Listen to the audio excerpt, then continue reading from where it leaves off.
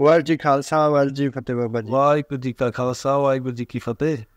ਸੋ ਇਹ ਪਰਮਿੰਦਰ ਸਿੰਘ ਜੀ ਹੈਗੇ ਨੇ ਜੀ। ਤੁਸੀਂ ਕਾਫੀ ਲੋਕਾਂ ਨੇ ਦੇਖਿਆ ਹੋਣਾ ਮੈਂ ਇੰਸਟਾਗ੍ਰam ਤੇ ਲੈਂਬਰਗਿਨੀ ਵਾਲੇ ਰੀਅਲ ਏਸਟੇਟ ਰੀਅਲਟਰ ਹੈਗੇ ਨੇ ਜਿਹੜੇ ਬਹੁਤ ਵਧੀਆ ਕੰਮ ਕਰ ਰਹੇ ਆਪਣੀ ਕਮਿਊਨਿਟੀ ਦੇ ਵਿੱਚ ਤੇ ਲੋਕਾਂ ਨੂੰ ਕਾਫੀ ਨੌਲੇਜ ਵੀ ਦਿੰਦੇ ਆ। ਇਹ ਯੂਐਸ ਦੇ ਵਿੱਚ ਕੈਲੀਫੋਰਨੀਆ ਦੇ ਵਿੱਚ ਕੰਮ ਕਰਦੇ ਆ। ਸੋ ਇਹਨਾਂ ਨਾਲ ਆਪਾਂ ਸਾਰੀ ਇਨਫੋਰਮੇਸ਼ਨ ਪੁੱਛਾਂਗੇ ਸਿੰਪਲੀਫਾਈਡ ਵਰਡਸ ਦੇ ਵਿੱਚ। ਜਿਹਦੇ ਵਿੱਚ ਲੋਕਾਂ ਨੂੰ ਸਮਝ ਆ ਸਕੇ। ਐਂਡ ਪਲੱਸ ਜਿਹੜਾ ਜਿਹੜਾ ਇਹਨਾਂ ਦਾ ਐਕਸਪੀਰੀਅੰਸ ਰਿਹਾ ਵਾ ਰੀਅਲ ਸਟੇਟ ਦੇ ਵਿੱਚ ਫਰਸਟ ਟਾਈਮ ਹੋਮ ਬਾਇਰਸ ਕੀ ਗਲਤੀਆਂ ਕਰਦੇ ਆ ਇਨਵੈਸਟਿੰਗ ਦੇ ਵਿੱਚ ਕੀ ਗਲਤੀਆਂ ਹੁੰਦੀਆਂ ਨੇ ਇਮੋਸ਼ਨਲ ਡਿਸੀਜਨਸ ਕਿੱਦਾਂ ਲੈ ਜਾਂਦੇ। ਸੋ ਆਪਾਂ ਉਹ ਸਾਰੀ ਕਵਰੇਜ ਕਰਾਂਗੇ ਇਹਦੇ ਵਿੱਚ। ਸੋ first of all Baba ji, ਤੁਸੀਂ ਆਪਣੇ ਆਪ ਨੂੰ ਇੰਟਰੋਡਿਊਸ ਕਰੋ ਬਈ ਕਿੱਦਾਂ ਤੁਸੀਂ ਵਰਕ ਕਰਦੇ ਹੋ, ਕੀ ਤੁਹਾਡਾ ਬੈਕਗ੍ਰਾਉਂਡ ਹੈ ਥੈਂਕ ਯੂ ਜੀ ਥੈਂਕ ਯੂ ਵੈਰੀ ਮੱਚ ਮੈਨੂੰ ਆਪਣੇ ਪੋਡਕਾਸਟ ਤੇ ਬੁਲਾਇਆ ਹੈ। ਤਾਂ ਦਾਸਤਾ ਦਾ ਹੈਗਾ ਪਰਮਿੰਦਰ ਸਿੰਘ ਤਾਂ ਫ੍ਰੈਸਨੋ ਕਾਉਂਟੀ ਦੇ ਵਿੱਚ ਹੈਗੇ ਇੱਥੇ ਕੈਲੀਫੋਰਨੀਆ 'ਚ। ਇੱਥੇ ਨਾਲ ਦੇ ਜੋ ਕਾਉਂਟੀ ਆ ਇੱਥੇ ਕੰਮ ਕਰ ਰਹੇ ਆ। ਹਾਂਜੀ। 15 15ਵਾਂ ਸਾਲ ਜਿਹਾ ਹੈਗਾ ਕੰਮ ਕਰਦੇ ਰੀਅਲ ਸਟੇਟ ਦੇ ਵਿੱਚ। ਵਾਹ ਬਿਲਕੁਲ ਬਿਲਕੁਲ। ਬਹੁਤ ਵਧੀਆ ਜੀ। ਸੋ ਇਹਦੇ ਵਿੱਚ ਤੁਹਾਡੇ ਲਾਈਫ ਐਕਸਪੀਰੀਐਂਸਿਸ ਕਿੱਦਾਂ ਰਹੇ ਆ ਰੀਅਲ ਸਟੇਟ ਦੇ ਵਿੱਚ? ਜਿਹੜਾ ਜਿਹੜਾ ਤੁਸੀਂ ਦੇਖ ਰਹੇ ਹੋ ਵੀ ਲੋਕ ਗਲਤੀ ਜ਼ਿਆਦਾ ਕਰਦੇ ਨੇ ਇਨਵੈਸਟਰਸ ਗਲਤੀ ਕਰਦੇ ਆ। ਸਭ ਤੋਂ ਵੱਡੀ ਚੀਜ਼ ਹੈ ਕਿ ਆਪਣੀ ਸੈਲਫ ਐਜੂਕੇਸ਼ਨ ਹਾਂਜੀ। ਤਾਂ ਵੀ ਕਿੰਨੇ ਸਾਲ ਹੁਣ ਆਪਣੀ ਇਨਵੈਸਟਮੈਂਟ ਕਰਨ ਤੋਂ ਪਹਿਲਾਂ ਤਾਂ ਜਿਹੜੇ ਆਪਣੇ ਕਲਾਇੰਟਸ ਆ ਉਹਨਾਂ ਨੂੰ ਹੈਲਪ ਕੀਤਾ ਇਨਵੈਸਟ ਕਰਨ ਨੂੰ। ਹਾਂਜੀ। ਉਹਨਾਂ ਤੋਂ ਪ੍ਰੈਕਟੀਕਲ ਤੌਰ ਤੋਂ ਸਿੱਖਿਆ ਜਾਂ ਤੁਹਾਨੂੰ ਗਾਈਡੈਂਸ ਵਧੀਆ ਚਾਹੀਦੀ ਹੈਗੀ ਆ। ਆਪਣਾ ਮੈਂਟਰ ਹੋਵੇ ਕੋਈ ਜਿਹੜਾ ਆਪਣੇ ਚਲੋ ਸ਼ਬਦਾਂ 'ਚ ਗੁਰੂ ਕਹ ਲਓ ਕਿਸੇ ਨੂੰ ਬਣਾਉਣਾ ਗਾਈਡੈਂਸ ਸਹੀ ਦੇ ਦੇ ਸਾਨੂੰ। ਇਹ ਨਹੀਂ ਕੋਈ ਲਾਲਚੀ ਬੰਦਾ ਨਹੀਂ ਚਾਹੀਦਾ ਸਾਨੂੰ ਜੇ ਚਾਹੀਦਾ ਜਿਹਦਾ ਨਾ ਸਿੰਸੀਅਰ ਹੋਵੇ ਬੰਦਾ ਸਾਨੂੰ ਹੈਲਪ ਕਰਦਾ ਸਾਰਾ ਪ੍ਰੋਸੈਸ ਪਹਿਲਾਂ ਸਮਝਾ ਦੇਵੇ ਫਿਰ ਸਟੈਪ ਬਾਈ ਸਟੈਪ ਜਦੋਂ ਸਿੱਖ ਲਿਆ ਸੀ ਐਕਸ਼ਨ ਲੈਣ ਦੀ ਲੋੜ ਆ। ਹਾਂਜੀ। ਜਿਹੜਾ ਫਰਸਟ ਟਾਈਮ ਕੰਜ਼ਿਊਮਰ ਹੈਗਾ ਜਿਹੜਾ ਆਪਣੇ ਘਰ ਵਾਸਤੇ ਲੈ ਰਹੇ ਉਹਨਾਂ ਦਾ ਐਕਸਪੀਰੀਅੰਸ ਲਿਮਿਟਡ ਹੋਣਾ। ਜਿਹੜਾ ਇਨਵੈਸਟਰ ਉਹ ਗਲਤੀਆਂ ਕਰ ਕਰਕੇ ਤਰੱਕੀ ਕਰਦੇ ਆ। ਬਿਲਕੁਲ ਬਿਲਕੁਲ ਬਿਲਕੁਲ। ਸੋ ਇਹਦੇ ਵਿੱਚ ਫਰਸਟ ਟਾਈਮ ਹੋਮ ਬਾਇਰਸ ਜਿਹੜੇ ਹੈਗੇ ਚਲੋ ਆਪਾਂ ਉੱਥੋਂ ਸਟਾਰਟ ਕਰ ਲੈਂਦੇ। So first time home buyer ਕਿੱਦਾਂ ਦੀਆਂ ਗਲਤੀਆਂ ਕਰ ਰਿਹਾ ਯੂਐਸ ਮਾਰਕੀਟ ਦੇ ਵਿੱਚ ਜਿਹੜਾ ਨਾਲ ਥੋੜੀ ਜਿਹੀ ਮਾਰਕੀਟ ਦੀ ਐਕਸਪਲੇਨ ਕਰਿਆ ਕਿਉਂਕਿ ਕੈਨੇਡੀਅਨ ਮਾਰਕੀਟ ਤੇ ਯੂਐਸ ਮਾਰਕੀਟ ਜਿਹੜੀ ਹੈਗੀ ਬਹੁਤ ਜ਼ਿਆਦਾ ਡਿਫਰੈਂਸ ਆ ਪ੍ਰਾਈਸ ਰੇਂਜ ਦੇ ਵਿੱਚ। ਨਾਲੇ ਸਾਡੇ ਵੀ ਮਾਰਕੀਟ ਜਿਹੜੀ ਸਾਡੀ ਫ੍ਰੈਸਨਲ ਏਰੀਆ ਚ ਸਟੇਬਲ ਆ। ਅਪਰੀਸ਼ੀਏਟ ਪਰ ਹੈਗੀ ਸਟੇਬਲ ਜਿੱਦਾਂ ਹੁਣ ਆ ਸਾਥ 3-4% ਪ੍ਰਾਈਸ ਵਧਣੀ ਆ। ਸਾਡੇ ਕੋ ਕੋਵਿਡ ਥਰੂ ਦਾ ਚਲੋ 20% ਉੱਪਰ ਚਲ ਗਿਆ। ਪਰ ਹੁਣ stable nice consistent market interest rate ਸਾਡਾ ਇਸ ਵੇਲੇ 6.5 7% ਕਹਿ ਲਓ। ਥੋੜਾ ਜਿਹਾ ਹਾਂਜੀ। ਸਾਡਾ ਨਹੀਂ ਮਾਰਕੀਟ ਹੈਗਾ ਜਿਹਦਾ ਬੇਰੀਆ ਦਾ ਹੈਗਾ ਥੋੜਾ ਜਿਹਾ ਛੇਤੀ ਉੱਪਰ ਜਾਂਦਾ ਥੱਲੇ ਵੀ ਆਉਂਦਾ। ਸਾਡਾ slowly appreciating market very good market to invest ਜਿਹੜੇ ਇਨਵੈਸਟਰ ਲਈ ਆ। ਅਫੋ one of the most affordable counties Fresno county ਹੈਗੀ ਆ ਅਜੇ ਕੈਲੀਫੋਰਨੀਆ 'ਚ। ਪਰ ਸਾਡੇ ਵੀ ਹੁਣ ਪ੍ਰਾਈਸਸ ਪਰ ਉੱਪਰ ਜਾ ਰਹੇ ਹੁਣ ਇੱਥੇ। ਜਿਹੜਾ ਕਿ ਔਖਾ ਹੋ ਰਿਹਾ। ਇਹਦੇ ਵਿੱਚ ਮੈਨੂੰ ਇੱਕ ਚੀਜ਼ ਜਰੂਰ ਦੱਸਿਓ ਜੀ ਆਪਾਂ ਫਾਈਨੈਂਸ਼ੀਅਲੀ ਫਾਈਨੈਂਸ਼ੀਅਲ ਲਿਟਰੇਸੀ ਦੀ ਵੀ ਗੱਲ ਕਰਦੇ ਵੀ ਲਾਈਕ ਪ੍ਰਾਈਸਿਸ ਉੱਪਰ ਕਿਉਂ ਜਾ ਰਹੇ ਨੇ? ਕੀ ਕੀ ਵਜੂਦ ਹੁੰਦਾ ਕਿਉਂ ਜਾਂਦੇ ਨੇ ਅਸਲ ਦੇ ਵਿੱਚ? ਨੰਬਰ 1 ਕਾਜ਼ ਜਿਹੜਾ ਹੈਗਾ ਕਾਰਨ ਹੈਗਾ ਆ ਡਿਮਾਂਡ ਹੈਗਾ ਜ਼ਿਆਦਾ ਸਪਲਾਈ ਹੈਗੀ ਘੱਟ ਸਾਡੇ। ਔਰ ਸਾਡੇ ਓਵਰਆਲ ਕਿੰਨੇ ਮਿਲੀਅਨ ਸਾਡੇ ਯੂਨਿਟ ਸ਼ਾਰਟੇਜ ਆ। ਤੁਹਾਡੇ ਕੈਨੇਡਾ 'ਚ ਵੀ ਸ਼ਾਰਟੇਜ ਹੈਗੀ ਆ। ਸਾਡੇ ਹਾਂਜੀ। ਦੂਸਰੀ ਚੀਜ਼ ਹੈਗੀ ਕਾਸਟ ਆਫ ਕੰਸਟਰਕਸ਼ਨ ਬਹੁਤ ਹਾਈ ਆ। ਇਹ ਹੁਣ ਚਲ ਗਿਆ ਸੋ ਪ੍ਰਾਈਸਸ ਵੀ ਉੱਪਰ ਜਾਂਦੇ ਆ। ਤਾਂ ਬਿਲਡਰ ਡਿਵੈਲਪਰ ਝਿਜਕਦੇ ਆ ਫਿਰ ਥੋੜਾ ਜਿਹਾ ਕਿ ਅਸੀਂ ਪੈਸਾ ਹੁਣ ਇੰਨਾ ਲਾਈਏ ਮੋਰੇ ਲੈਣ ਵਾਲੇ ਅਫੋਰਡੇਬਿਲਟੀ ਕਿੰਨੀ ਹੈਗੀ ਆ ਮਾਰਕੀਟ 'ਚ? ਹੂੰ ਤੇ ਉਹਨਾਂ ਨੂੰ ਵੀ ਜ਼ਿਆਦਾ ਕਰਜ਼ਾ ਚੱਕਣਾ ਪੈਂਦਾ ਵਾ ਕਰਜ਼ਾ ਜਾ ਚੁੱਕਾ ਪੈਣਾ। ਹੁਣ ਪਹਿਲਾਂ ਤਾਂ ਚਲੋ ਇੱਕ ਬੰਦਾ ਕੰਮ ਕਰਦਾ ਤਾਂ ਘਰ ਬੱਚੇ ਕੋਈ ਸਾਂਭਦਾ ਤਾਂ ਹੁਣ ਉਹ ਇਦਾਂ ਘਰ ਸਰ ਜਾਂਦਾ ਸੀ। ਹੁਣ ਤਾਂ ਜੇ ਦੋਨੋਂ ਨਾਲ ਕੰਮ ਕਰਨ ਬੜਾ ਮੁਸ਼ਕਲ ਹੁੰਦਾ ਆ। ਵੀ ਯਾ ਇੱਕ ਇੱਕ ਮੈਂ ਦੇਖਿਆ ਜੀ ਇੱਕ ਬੰਦੇ ਦੀ ਤਾਂ ਜਿਹੜੀ ਕਮਾਈ ਆ ਉਹ ਸਿਰਫ ਪੇਮੈਂਟਾਂ 'ਚ ਹੀ ਜਾਂਦੀ ਆ। ਬਸ ਬਸ ਇਦਾਂ ਹੀ ਹੈ ਸੋ ਮਹਿੰਗਾਈ ਬਹੁਤ ਹੋ ਰਹੀ ਆ ਸਾਡੇ ਜੋ ਅਮਰੀਕਾ 'ਚ ਤਾਂ ਚਲੋ ਇਨਫਲੇਸ਼ਨ ਹੁਣ ਕੈਨੇਡਾ ਬਣੀ ਕਿੰਨੀ ਛੋਟੀ ਹੋਈ ਸਾਡੀ ਕਾਫੀ ਯੂ نو 9 10% ਇਨਫਲੇਸ਼ਨ ਹੁਣ ਜੌਬ ਜਿਹੜੀ ਇਨਕਮ ਆ ਤੁਹਾਡੀ ਨਹੀਂ ਇੰਨੀ ਗਰੋ ਹੋਈ। ਸੋ ਨੰਬਰ 1 ਥਿੰਗ ਹੈਗਾ ਬੰਦਾ ਡਰਦਾ ਹੁੰਦਾ ਮਾਰਕੀਟ ਐਂਟਰ ਕਰਨ ਨੂੰ। ਪਰ ਜੇ ਤੁਸੀਂ ਇਹ ਸੋਚੋ ਜੇ ਨਾ ਅਸੀਂ ਐਂਟਰ ਕੀਤਾ for core first time buyer or investor ਜੇ ਤੁਸੀਂ ਨਹੀਂ ਐਂਟਰ ਕਰਦੇ ਮਾਰਕੀਟ ਤੁਸੀਂ ਲੂਜ਼ ਕਰਦੇ ਇਨਫਲੇਸ਼ਨ ਜਦੋਂ ਹੋਏਗਾ। ਬੰਦਾ ਔਖਾ ਹੋ ਕੇ ਵੀ ਇਹ ਘਰ ਲੈ ਲਵੇ ਇਨਫਲੇਸ਼ਨ ਉਹਨਾਂ ਦੇ ਪ੍ਰਾਈਸ ਦੇ ਨਾਲ ਗਰੋਥ ਹੋ ਰਹੀ ਆ ਹਰ ਸਾਲ। ਲਾਈਕ ਕਿੱਦਾਂ ਕਿੱਦਾਂ ਇਨਫਲੇਸ਼ਨ ਦੇ ਵਿੱਚ ਕਿੱਦਾਂ ਬੰਦਾ ਲੂਜ਼ ਕਰਦਾ ਵਾ? ਘਰ ਘਰ ਜੇ ਘਰ ਇੱਕ ਐਸੈਟ ਵੀ ਹੈਗਾ ਇੱਕ ਲਾਇਬਿਲਿਟੀ ਵੀ ਹੈਗਾ। ਸੋ ਸੋ ਆਪਾਂ ਲੈਟਸ ਸੇ ਆਪਾਂ ਐਸੈਟ ਮੰਨ ਕੇ ਚੱਲਦੇ ਆ ਉਹਦੇ ਵਿੱਚ ਆਪਾਂ ਨੂੰ ਇਕੁਇਟੀ ਗਰੋਥ ਵੀ ਮਿਲ ਰਹੀ ਆ। ਪਰ। ਜੇ ਘਰ ਨਹੀਂ ਲੈਂਦਾ ਜਾਂ ਕੋਈ ਐਸੈਟ ਨਹੀਂ ਲੈਂਦਾ ਹੈਗਾ ਦੈਨ ਉਹ ਬੰਦਾ ਕਿੱਦਾਂ ਇਨਫਲੇਸ਼ਨ ਦੇ ਨਾਲ ਲੂਜ਼ ਕਰਦਾ ਵਾ? ਸੋ ਇਨਫਲੇਸ਼ਨ ਫ਼ਰਕ ਤੁਹਾਡੇ ਬੈਂਕ ਅਕਾਊਂਟ 'ਚ 100 ਡਾਲਰ ਪਿਆ। ਹਾਂਜੀ।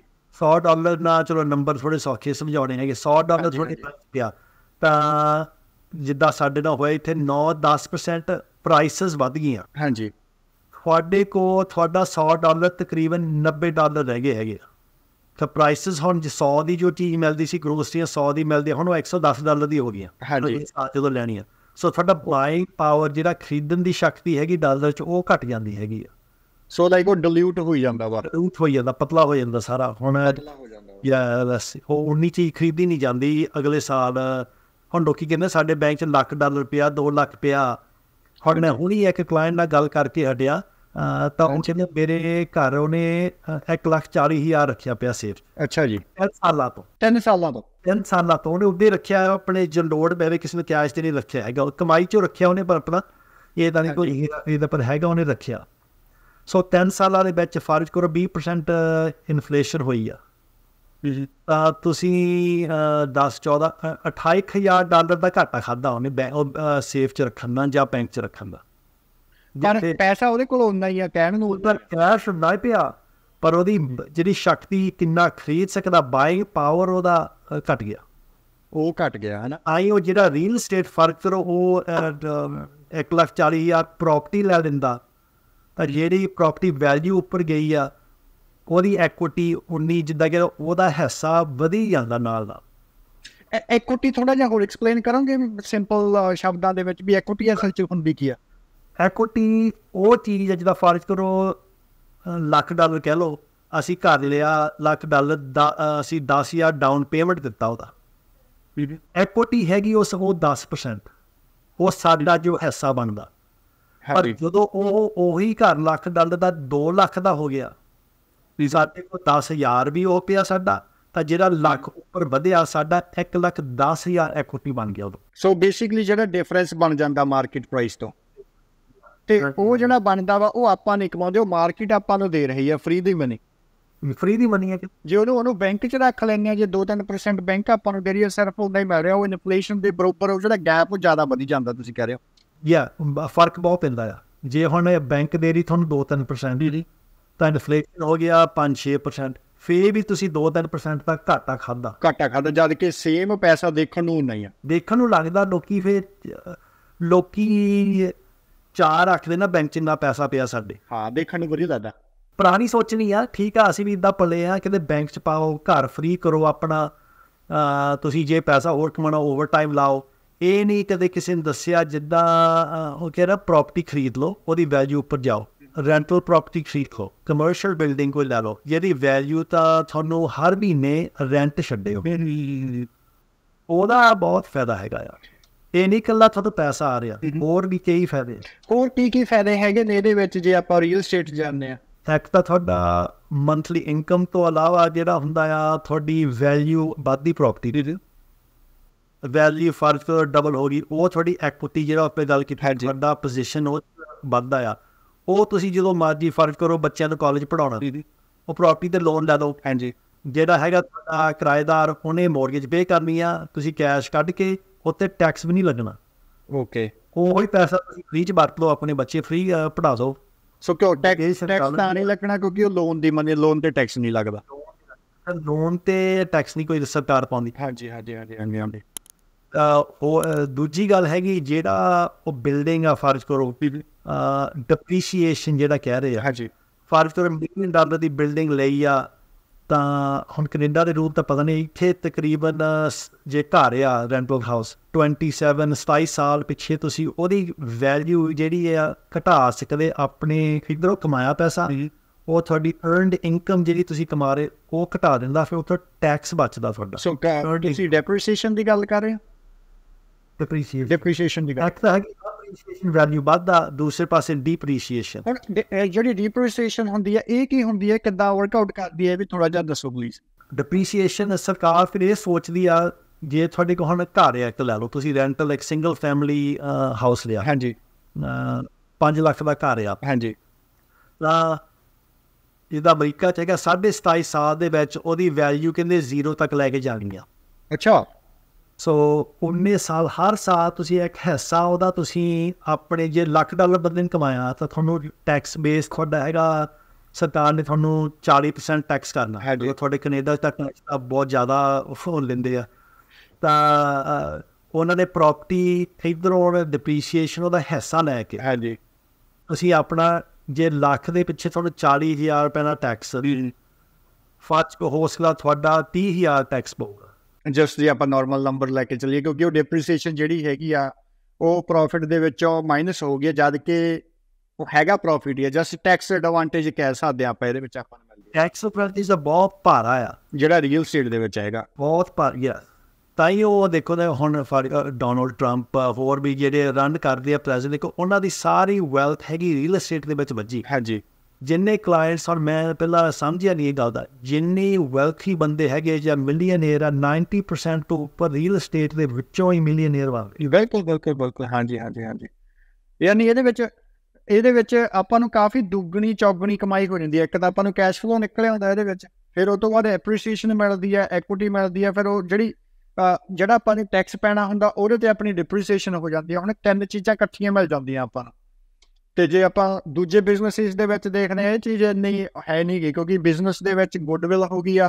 ਜੇ ਉਸ ਹਿਸਾਬ ਨਾਲ ਆਪਾਂ ਨੂੰ ਪੈਸੇ ਬਣਦੇ ਆ ਥੋੜੀ ਮੋਟੀ ਐਕੁਇਟੀ ਆ ਜਾਂ ਫਿਰ ਬਿਜ਼ਨਸ ਜਿਹੜਾ ਹੁੰਦਾ ਉਹ ਕੈਸ਼ ਫਲੋ ਬਿਜ਼ਨਸ ਹੁੰਦਾ ਵਾ। ਨਾ ਜਾਂ ਨਾ ਦੂਸਰੇ ਪਾਸੇ ਦੇਖੀ ਜੇ ਹੁਣ ਬੰਦਾ ਕਹਿੰਦਾ ਚਲੋ ਮੈਂ ਰੀਅਲ ਏਸਟੇਟ ਦਾ ਹੈਡੇਕ ਨਹੀਂ ਰਹਿਣਾ ਲੋਕੀ ਬਹੁਤ ਇਦਾਂ ਕਹਿੰਦੇ ਕਿ ਟਾਇਲਟ ਪਲੱਗ ਹੋ ਗਈ ਕਿ ਆ ਕੀ ਹੋ ਜਾਊਗਾ 네ਗੇਟਿਵ ਪੱਖ ਦੇਖ। ਹਾਂਜੀ ਹਾਂਜੀ।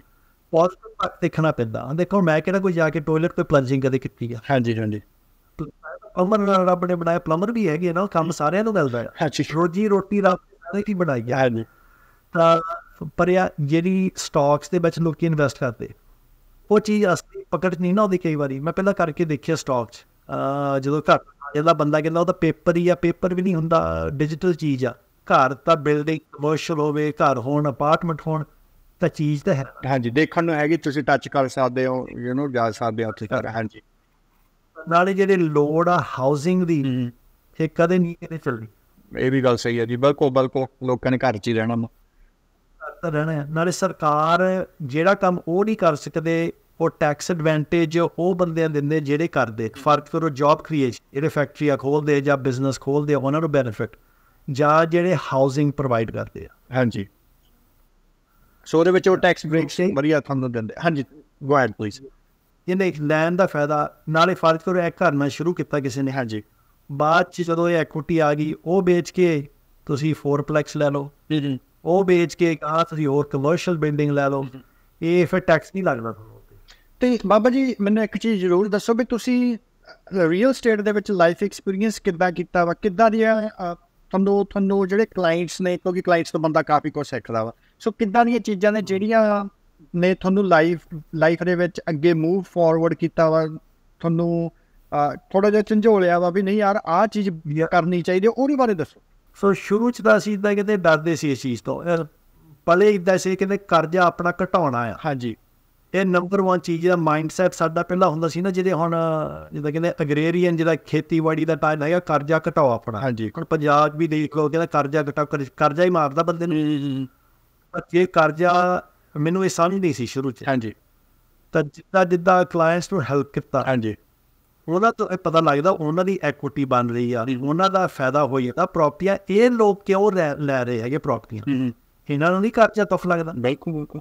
ਇਹ ਬੰਦਾ ਇੱਥੋਂ ਵੀ ਥੋੜਾ ਸੋਚਣ ਚ ਆਇਆ ਕਿ ਦੇਖੋ ਇਹ ਚੁੱਕੀ ਜਾਂਦੇ ਕਰਜ਼ਾ। ਇਹਨਾਂ ਨੂੰ ਪਤਾ ਜਿਹੜਾ ਕਿ ਮੈਨੂੰ ਨਹੀਂ ਸਮਝ ਹੈਗੀ ਚੀਜ਼ ਬਿਲਕੁਲ ਸਹੀ ਗੱਲ ਆ। ਫਿਰ ਥੋੜਾ ਸੋਚ ਕੀਤੀ ਉਹ ਆਪਣਾ ਹੈਗਾ ਇਨਵੈਸਟਰ ਰਾਬਰਟ ਕੀਓਸਾਕ ਹਾਂਜੀ। ਰਿਚ ਡੈਡ ਪੋਰ ਹਾਂਜੀ ਹਾਂਜੀ। ਬੰਦਾ ਸਿੰਪਲ ਬੜੇ ਸਿੰਪਲ ਟਰਮਸ ਦੇ ਵਿੱਚ ਉਹ ਸਮਝਾਉਂਦਾ ਬੰਦੇ ਨੂੰ ਕੀ ਰੀਅਲ ਏਸਟੇਟ ਕਿੱਦਾਂ ਚੱਲਦੀ ਆ। ਬਿਲਕੁਲ ਬਿਲਕੁਲ। ਤਾਂ ਕਰਜ਼ਾ ਇਹ ਨਹੀਂ ਕਰਜ਼ਾ ਲਓ ਗੱਡੀਆਂ ਕਢਾਓ ਜਾਂ ਕਰਜ਼ਾ ਲਓ ਵਿਕੇਸ਼ਨਾਂ ਲਓ ਐਸ਼ ਇਸ਼ਰਤ ਵੱਲ ਨਹੀਂ। ਇਹ ਹੈਗਾ ਚੀਜ਼ ਜਿਹੜੀ ਹੈਗੀ ਆ ਐਸੈਟ ਬਣਾਉਣ ਨੂੰ।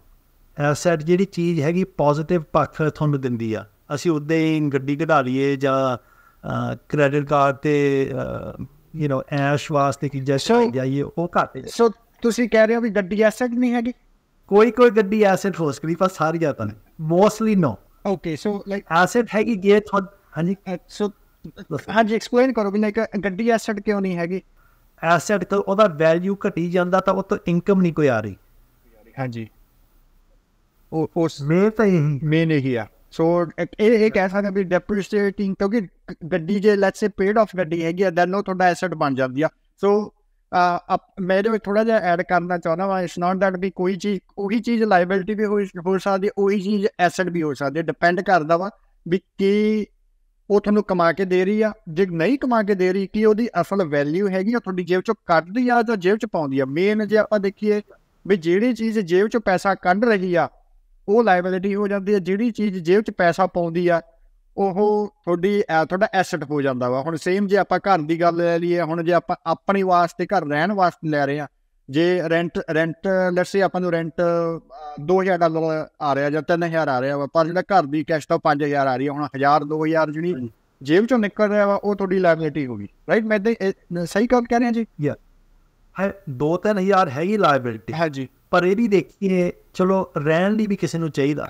ਕਈ ਬੰਦੇ ਕਹਿੰਦੇ ਰਹਿਣ ਨੂੰ ਨਾ ਲਓ ਘਰ ਤੁਸੀਂ ਅਪਾਰਟਮੈਂਟ ਹੀ ਲੈ ਲਓ। ਚਲੋ ਆਪਣੇ ਬੰਦਿਆਂ ਦਾ ਸੁਭਾਅ ਹੈਗਾ ਚਲੋ ਘਰ ਰਹਿਣ ਨੂੰ ਵੀ ਚਾਹੀਦਾ ਸਾਡੇ ਯੂ نو ਸਾਡਾ ਹੈਗਾ ਕਲਚਰ ਚ। ਹੈ ਪਰ ਜੇ ਉਹ 3000 ਤੁਹਾਡਾ ਜਾਂਦਾ ਵੀ ਆ ਜਿਹੜੀ ਪ੍ਰਾਪਰਟੀ ਵੈਲਿਊਏਸ਼ਨ ਉੱਪਰ ਵੀ ਜਾ ਰਹੀ ਹਰ ਸਾਲ। ਇਹ ਵੀ ਗੱਲ ਸਹੀ ਹੈ। ਐਡ ਸਾਨੂੰ ਟੈਕਸ ਬ੍ਰੇਕ ਵੀ ਮਿਲਦੀ ਹੈ। ਟੈਕਸ ਬ੍ਰੇਕ ਹੀ ਮਿਲਦਾ। ਜਿਹੜਾ ਵਿਆਜ ਵੀ ਤੁਸੀਂ ਦੇ ਰਹੇ ਆ ਅਮਰੀਕਾ 'ਚ ਤੁਹਾਨੂੰ ਟੈਕਸ ਡਿਡਕਟਲ ਵੀ ਆ ਉਹ ਟੈਕਸ ਤੋਂ ਵੀ ਘਟਾ ਸਕਦੇ ਆ। ਉਹ ਪ੍ਰਾਇਮਰੀ ਪ੍ਰਾਪਰਟੀ 'ਚ ਵੀ ਕਰ ਸਕਦੇ ਆ? ਯਾ ਅਮਰੀਕਾ 'ਚ ਤਾਂ ਹੈਗਾ ਕੁਛ ਹਜ਼ਾਰ 10000 ਡਾਲਰ ਇਸ ਵੇਲੇ ਹੈਗਾ ਥੋੜਾ ਘਟਾਤਾ ਇਹਨਾਂ ਨੇ ਪਰ ਉਹ ਵੀ ਤੁਸੀਂ ਡਿਡਕਟ ਕਰਦੇ ਤੁਹਾਡਾ ਇੰਟਰਸਟ ਵਾਓ ਮੈਨੂੰ ਲੱਗਦਾ ਅਮਰੀਕਾ ਅਮਰੀਕਾ 'ਚ ਮੂਵ ਹੋਣਾ ਪੈਣਾ ਮੈਨੂੰ ਵੀ ਆੜੀਆ ਦਾ ਦੇਸ਼ ਆ। ਹਾਂਜੀ ਇਹਦਾ ਪੂਰਾ ਜਿਹੜਾ ਹੁਣ ਹੈਗਾ ਇਨਵੈਸਟਮੈਂਟ ਪ੍ਰਾਪਰਟੀ ਉਹ ਤਾਂ ਚਲੋ 100% ਤੁਸੀਂ ਹਾਂਜੀ ਹਾਂਜੀ। ਜਿੰਨੇ ਵੀ ਖਾਤੇ ਵੀ ਉੱਤੇ ਪਾਉਂਦੇ ਆ। ਬਿਲਕੁਲ ਬਿਲਕੁਲ। ਤੇ ਤੁਸੀਂ ਕਿਸ ਕਿਦਾਂ ਦੀ ਰੀਅਲ ਸਟੇਟ 'ਚ ਮੈਜੋਰਟੀ ਕੰਮ ਕਰਦੇ ਹੋ ਤੇ ਉਹਦੇ ਬਾਰੇ ਦੱਸੋ ਮੈਨੂੰ ਥੋੜਾ ਜਿਹਾ ਪਲੀਜ਼ ਮੈਜੋਰਿਟੀ ਜਿੱਦਾਂ ਆਮ ਰੀਅਲ ਤੇ ਸ਼ੁਰੂ ਕਰਦੇ ਆ ਪਹਿਲਾਂ ਮੈਂ ਪਾਰਟ ਟਾਈਮ ਸੀ ਫਿਰ ਫੁੱਲ ਟਾਈਮ ਮੋਸਟਲੀ ਤਾਂ ਹੈਗਾ ਰੈਜ਼ੀਡੈਂਸ਼ੀਅਲ ਰੀਅਲ ਏਸਟੇਟ ਹਾਂਜੀ। ਸੋ ਰੈਜ਼ੀਡੈਂਸ਼ੀਅਲ ਜਿਹੜੇ ਪ੍ਰਾਇਮਰੀ ਫਰਜ਼ ਅੱਜ 10 ਐਸਕਰੋ ਕਲੋਜ਼ ਕੀਤੇ ਆ। ਬਾਬਾ ਜੀ ਐਸਕਰੋ ਦੱਸੋਗੇ ਥੋੜਾ ਜਿਹਾ ਐਕਸਪਲੇਨ ਕਰੋਗੇ ਐਸਕਰੋ ਕੀ ਹੁੰਦਾ? ਸੌਰੀ ਐਸਕਰੋ ਤੁਹਾਡਾ ਉੱਥੇ ਐਸਕਰੋ ਕਹਿੰਦੇ ਕਿਨੇ ਤਾਂ ਸਾਡੇ ਐਸਕਰੋ ਨਹੀਂ ਕਰਦੇ ਹੈਗੇ।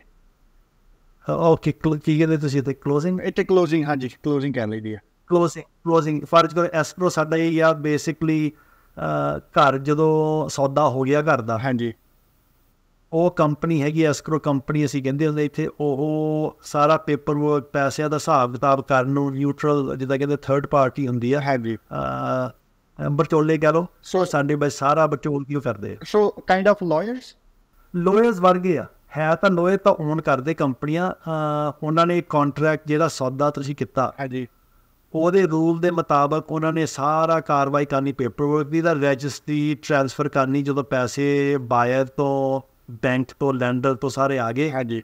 ਉਹਨਾਂ ਨੇ ਸਾਰਾ ਵਿੱਚ ਹਿਸਾਬ ਕਰਕੇ ਫਿਰ ਰਜਿਸਟਰੀ ਟ੍ਰਾਂਸਫਰ ਕਰਨੀ। ਓਕੇ ਯਾਰ ਨਹੀਂ ਸਾਡੇ ਸਾਡੇ ਪਾਸੇ ਕੀ ਹੁੰਦਾ ਵਾ ਜਦੋਂ ਬਾਇਰ ਐਂਡ ਸੈਲਰ ਦੀ ਡੀਲ ਕਨਫਰਮ ਹੋ ਜਾਂਦੀ ਹੈ ਫਰਮ ਹੋ ਗਈ ਆ ਐਂਡ ਉਹ ਤੋਂ ਬਾਅਦ ਜਦੋਂ ਕਲੋਜ਼ਿੰਗ ਡੇਟ ਆਉਂਦੀ ਆ ਫਿਰ ਲਾਇਰ ਲਾਇਰ ਨੇ ਲਾਇਰ ਨਾਲ ਗੱਲ ਕਰਨੀ ਹੁੰਦੀ ਹੈ ਇੱਥੇ। ਸੋ ਬਾਇਰ ਦਾ ਲਾਇਰ ਲੱਗ ਹੁੰਦਾ ਸੈਲਰ ਦਾ ਲੱਗ ਹੁੰਦਾ। ਦੈਨ ਪੈਸੇ ਟ੍ਰਾਂਸਫਰ ਉਦੋਂ ਕਰਦੇ ਉਹਨੂੰ ਕਲੋਜ਼ਿੰਗ ਕਹਿ ਦਿੰਦੇ ਇੱਥੇ। ਅਮਰੀਕਾ 'ਚ ਕੁਝ ਸਟੇਟਾਂ 'ਚ ਇੱਦਾਂ ਹੈਗਾ ਪਰ ਕੈਲੀਫੋਰਨੀਆ 'ਚ ਨਹੀਂ ਹੈਗਾ। ਓਕੇ ਠੀਕ ਆ ਜੀ। ਤੇ ਕੈਲੀਫੋਰਨੀਆ ਦੇ ਵਿੱਚ ਅੱਜ ਦੀ ਡੇਟ ਦੇ ਵਿੱਚ ਸਸਤਾ ਰਹਿਣਾ ਜਾਂ ਲਾਈਕ ਮਹਿੰਗਾ ਕੰਮ? ਕਿਉਂਕਿ ਮੈਂ ਜੋ ਵੀ ਦੇਖਣਾ ਉਹ ਤਾਂ ਕਾਫੀ ਮਹਿੰਗਾ ਵਾ ਉੱਥੇ। ਵਾ ਹੁਣ ਹਰ ਹਰ ਹਰ ਸਟੇਟ ਜਾਂ ਏਰੀਆ ਸ਼ਹਿਰ ਦੇਖਣਾ ਪੈਂਦਾ ਆਪਣੇ ਓਨ ਜਿੱਦਾਂ ਕਹਿੰਦੇ ਸਰਕਮਸਟੈਂਸ ਆ। ਹੁਣ ਕਈ ਥਾਂ ਦਾ ਬੇ ਏਰੀਆ ਹੁਣ ਉੱਥੇ ਤਾਂ ਕਾਫੀ ਖਲਾਰਾ ਪਿਆ ਆ ਜਿੱਦਾਂ ਸੈਨ ਫਰਾਂਸਿਸਕੋ ਗਿਆ ਹਾਂਜੀ। ਹੁਣ ਪ੍ਰਾਈਸਸ ਹੋ ਸਕੇ ਥੋੜੇ ਘਟੇ ਉਹਨਾਂ ਦੇ। ਸਾਡੇ ਤਾਂ ਵਧੀ ਜਾਂਦੇ ਇਸ ਇਲਾਕੇ 'ਚ। ਓਕੇ ਅਸੀਂ ਗਰੋ ਹੋ ਰਿਹਾ ਏਰੀਆ ਥੋੜਾ ਕੰਜ਼ਰਵੇਟਿਵ ਵੀ ਆ। ਐਵਰੀ ਏਰੀਆ ਡਿਫਰੈਂਟ ਮਹਿੰਗਾ ਤਾਂ ਨਹੀਂ ਹੈਗਾ। ਅਫੋਰਡੇਬਿਲਟੀ ਦੀ ਗੱਲ। ਜਿਹੜਾ ਆਮ ਬੰਦਾ ਮੀਡੀਅਨ ਇਨਕਮ ਵਾਲਾ ਉਹ ਕੀ ਅਫੋਰਡ ਕਰ ਸਕਦਾ? ਓਕੇ ਠੀਕ ਆ। ਅਜੇ ਵੀ ਫ੍ਰੈਸਨੋ ਕਾਉਂਟੀ ਆ ਟਲੇਰੀ ਕਾਉਂਟੀ ਹੈਨਫਰਡ ਕਾਉਂਟੀ ਜਿਹੜੀ ਸਾਡੇ ਹੈਗੀਆਂ ਅਜੇ ਅਫੋਰਡੇਬਲ ਹੈ ਪਰ ਵੱਧ ਰਹੀਆਂ। ਠੀਕ ਆ ਜੀ। ਤੇ ਇਹ ਮੈਨੂੰ ਇੱਕ ਚੀਜ਼ ਹੋਰ ਦੱਸੋ ਬਈ ਤੁਸੀਂ ਫਰਸਟ ਟਾਈਮ ਹੋਮ ਬਾਇਰਸ ਨਾਲ ਵੀ ਕੰਮ ਕਰਨ ਨਾਲ ਤੁਸੀਂ ਇਨਵੈਸਟਰਸ ਨਾਲ ਵੀ ਕਰਦੇ ਹੋ। So first time home buyer ਜਿਹੜੇ ਹੈਗੇ ਆ ਉਹ ਲਾਈਕ ਸਾਈਕੋਲੋਜੀਕਲੀ ਕਿੱਦਾਂ ਦੀਆਂ ਮਿਸਟੇਕਸ ਕਰਦੇ ਆ ਜਿਹੜੀਆਂ ਜਿਹੜੀਆਂ ਆਪਾਂ ਨੂੰ ਧਿਆਨ ਰੱਖਣੀਆਂ ਚਾਹੀਦੀਆਂ ਐਜ਼ ਅ ਰੀਅਲਟਰਸ ਔਰ ਆਪਾਂ ਇਹ ਕਹਿੰਦੇ ਵੀ ਐਜ਼ ਅ ਬਾਇਰਸ ਬਾਇਰ ਨੂੰ ਵੀ ਇਨਫੋਰਮੇਸ਼ਨ ਮਿਲੇ ਹੈ ਨਾ ਸੋ ਉਹ ਕਿੱਦਾਂ ਦੀਆਂ ਗਲਤੀਆਂ ਕਰਦੇ ਨੇ? ਨੰਬਰ 1 ਚੀਜ਼ ਮੈਂ ਹੈ ਕਈ ਵਾਰੀ ਰੀਅਲਟਰ ਹੀ ਗਲਤੀ ਕਰਾ ਦਿੰਦੇ। ਅੱਛਾ ਜੀ। ਜਿਹੜੇ ਅਸੀਂ ਐਜੂਕੇਟ ਨਹੀਂ ਕਰਦੇ ਸਹੀ। ਹਾਂਜੀ। ਹੁਣ ਇਹ ਕੰਮ ਹੈਗਾ ਤਾਂ ਸਾਨੂੰ ਕਰਨਾ ਚਾਹੀਦਾ ਹਾਈ ਪ੍ਰੋਫੈਸ਼ਨਲ ਲੈਵਲ ਹਾਂਜੀ। ਨੰਬਰ 1 ਚੀਜ਼ ਆ ਕਿ ਦੇਸੀ ਜਿਹਾ ਕੰਮ ਨਹੀਂ ਚੱਲਦਾ। ਇਹ ਪ੍ਰੋਫੈਸ਼ਨਲ ਲੈਵਲ ਤੇ ਕਰਨਾ ਚਾਹੀਦਾ ਕਿ ਜਿਹੜੇ ਕਿ ਸਾਡਾ ਕੰਮ ਹੈਗਾ ਆਪ ਐਜੂਕੇਟਡ ਹੋਈਏ। ਹਾਂਜੀ। ਤਾਂ ਇਹ ਕਲਾਇੰਟਸ ਨੂੰ ਐਜੂਕੇਟ ਕਰਨਾ ਕਿ ਉਹਨਾਂ ਨੂੰ ਪਤਾ ਹੋਵੇ ਮਾਰਕੀਟ ਇਸ ਵੇਲੇ ਕਿੱਦਾਂ ਦਾ ਚੱਲ ਰਿਹਾ ਕੀ ਉਹਨਾਂ ਦਾ ਫਾਇਦਾ ਹੈਗਾ ਵਿਆਜ ਕਿੱਦਾਂ ਚੱਲਦਾ ਕਰਜ਼ਾ ਕੀ ਚੀਜ਼ ਆ ਉਹਨਾਂ ਨੂੰ ਸਮਝ ਹੋਵੇ। ਤਾਂ ਕਈ ਵਾਰੀ ਪ੍ਰੀ ਅਪਰੂਵਲ ਪਹਿਲਾਂ ਕਰਾਉਣਾ ਚਾਹੀਦਾ ਬੰਦੇ ਦਾ। ਲੋਨ ਕਿੰਨਾ ਉਹ ਚੱਲ ਸਕਦੇ ਆ ਕਿਹੋ ਜਿਹਾ ਘਰ ਲੈਣਾ ਚਾਹੁੰਦੇ ਆ। ਇਹ ਤਾਂ ਸਾਨੂੰ ਕੁਐਸਚਨ ਬਹੁਤ ਪੁੱਛਣ ਦੀ ਲੋੜ ਹੁੰਦੀ ਆ। ਤਾਂ ਜਦੋਂ ਬਾਇਰ ਐਜੂਕੇਟਡ ਨਹੀਂ ਨਾ ਹੁੰਦੇ ਹਾਂਜੀ। ਉਹ ਸਭ ਵੱਡੀ ਗਲਤੀ ਉਹ ਕਰਦੇ ਉਹ ਐਕਸ਼ਨ ਨਹੀਂ ਲੈਂਦੇ ਕੋਈ। ਯਾ ਉਹ ਬੈਠੇ ਰਹਿੰਦੇ ਇਨਫੋਰਮੇਸ਼ਨ ਤੋਂ ਹੀ ਅੱਗੇ ਐਕਸ਼ਨ ਆਉਣਾ ਮਾ ਜੇ ਬੰਦਾ ਸੈਟੀਸਫਾਈਡ ਹੋਊਗਾ ਤਾਂ ਹੀ ਅੱਗੇ ਤੁਰੂਗਾ ਹੈ ਨਾ? ਕਿਉਂਕਿ ਹੈ ਵੱਡੀ ਚੀਜ਼ ਆ ਨਾ ਜੋ ਘਰ ਲੈਣਾ ਕਿੰਨੇ ਲੱਖ ਡਾਲਰ ਖਰਚ ਨੇ ਬੰਦੇ ਨੇ। ਤਾਂ ਸਾਡੇ ਏਰੀਆ ਤਾਂ ਮੀਡੀਅਨ ਪ੍ਰਾਈਸ ਤਾਂ ਹੈਗਾ 4 ਲੱਖ ਸਵਾ 4 ਲੱਖ। ਓਕੇ ਸੋ ਤੁਹਾਡੇ ਕੈਨੇਡਾ ਦੇ ਹਿਸਾਬ ਨਾਲ ਤਾਂ ਬਹੁਤ ਫ਼ਰਕ ਹੈ। ਇਸ ਮਿੰਟ 'ਚ ਤਾਂ ਹੋਰ ਹਾਂਜੀ ਹਾਂਜੀ ਇੱਧਰ ਸਾਡੇ ਵਾਲੇ ਪਾਸੇ ਦੇਖੀ ਜੇ ਜੀਟੀ ਏਰੀਆ ਚ ਦੇਖੇ 4 4.5 ਤਾਂ ਕੋਂਡੋ ਮਸਾ ਆਉਂਦਾ ਵਾ ਸਾਡੇ ਇੱਥੇ 1 ਬੈਡਰੂਮ ਤੇ ਇਹ ਸਾਡੇ ਕੋਲ ਹੈ ਮਿਲੀਅਨ ਡਾਲਰ ਘਰ ਹੈਗੇ ਆ। ਹਾਂਜੀ। ਪਰ ਤੁਹਾਡੇ ਹੁਣ ਡਿਮਾਂਡ ਬਹੁਤ ਹਾਈ ਕਿ ਦੇਖੋ ਨਾ ਅਮਰੀਕਾ ਬਹੁਤ ਵੱਡਾ ਆ। ਬਿਲਕੁਲ ਬਿਲਕੁਲ। ਲੋਕਾਂ ਕੋਲ ਆਪਸ਼ਨਸ ਆ ਸਾਡੇ ਕੋਲ ਖੇਤੀਬਾੜੀ ਵੀ ਇੱਥੇ ਚੱਲਦੀ ਸਾਰੀ। ਹਾਂਜੀ ਹਾਂਜੀ। ਸਾਡੇ ਕੋਲ ਫੁੱਲ ਕੈਲੀਫੋਰਨੀਆ ਬਹੁਤ ਵੱਡਾ ਹੈ ਬਿਲਕੁਲ ਬਿਲਕੁਲ ਬਿਲਕੁਲ। ਸਾਰੇ ਤਾਂ ਜੀਟੀਏ ਬੈਠੇ ਕੈਲਗਰੀ ਬੈਠੇ, ਆ ਐਡਮਿੰਟਨ ਬੈਠੇ, ਆ, ਹੁਣ ਚਾਰ ਥਾਂ ਤੁਹਾਡੇ ਕੋਲ ਹੈਗੇ। ਹਾਂਜੀ, ਸਾਡੇ ਇੱਥੇ ਪੂਰੇ ਕੈਨੇਡਾ ਦੇ ਵਿੱਚ ਜੇ ਦੇਖੀਏ, ਆਪਣਾ ਗ੍ਰੇਟਰ ਵੈਨਕੂਵਰ ਏਰੀਆ ਹੋ ਜਾਂਦਾ ਵਾ, ਜਿੱਥੇ ਮੈਜੋਰਿਟੀ ਕਮਿਊਨਿਟੀ ਰਹਿੰਦੀ ਆ ਉਸ ਤੋਂ ਬਾਅਦ ਗ੍ਰੇਟਰ ਟੋਰੋਂਟੋ ਏਰੀਆ ਹੋ ਗਿਆ। ਤੇ ਅਲਬਰਟਾ ਦਾ ਕਾਫੀ ਪਿਛਲੇ ਸਾਲਾਂ ਦੇ ਵਿੱਚ ਕੋਵਿਡ ਟਾਈਮ ਦੇ ਵਿੱਚ ਰੌਲਾ ਪਿਆ ਸੀਗਾ ਸੋ ਕੈਲਗਰੀ ਦੇ ਵਿੱਚ ਕਾਫੀ ਲਾਈਕ ਘਰ ਸਪਾਈਕ ਹੋਇਆ ਅਰਾਊਂਡ ਐਵਰੇਜ 7 ਤੋਂ 8 ਦੇ ਵਿੱਚ ਵਿੱਚ ਚੱਲਣ ਲੱਗਿਆ ਹੋਇਆ ਵਾ, ਹਨਾ? ਹੁਣ ਥੋੜੇ ਜਿਹਾ ਡਾਊਨ ਆਇਆ ਸੀਗੇ cause of high interest rate or then Calgary ਹੋ ਗਿਆ ਐਡਮਿੰਟਨ ਹੋ ਗਿਆ ਮੇਨ ਆਹੀ ਜਗ੍ਹਾ ਦੇ ਵਿੱਚ ਆਪਣੀ ਕਮਿਊਨਿਟੀ ਜ਼ਿਆਦਾ ਰਹਿ ਰਹੀ ਆ ਸੋ ਹਾਂਜੀ ਹਾਂਜੀ। ਇਹਦੇ ਇਹਦੇ ਵਿੱਚ ਸੋ ਆਪਾਂ ਪਹਿਲਾਂ ਤਾਂ ਇਹ ਦੇਖ ਲਈ ਵੀ ਰੀਅਲਟਰਸ ਜਿਹੜੇ ਹੈਗੇ ਨੇ ਉਹ ਐਜੂਕੇਟਡ ਨਹੀਂ ਹੈਗੇ ਜੇ ਐਜੂਕੇਟਡ ਨਹੀਂ ਹੈਗੇ ਤਾਂ ਉਹ ਅੱਗੇ ਐਜੂਕੇਸ਼ਨ ਨਹੀਂ ਦੇ ਸਕਦੇ। ਸੋ ਐਜ਼ ਅ ਰੀਅਲਟਰ ਕਿੱਦਾਂ ਦੀ ਇਨਫੋਰਮੇਸ਼ਨ ਆਪਾਂ ਨੂੰ ਚਾਹੀਦੀ ਹੈ ਤੇ ਕਿੱਥੋਂ ਕਿੱਥੋਂ ਸਿੱਖ ਸਕਦੇ ਆਪਾਂ? ਨੰਬਰ 1 ਜਿਹਦੇ ਹੁਣ ਤੁਸੀਂ ਇਹ ਕਾਂਗੇ ਹੈਗਾ ਲੈਂਡਿੰਗ ਦਾ। ਹਾਂਜੀ।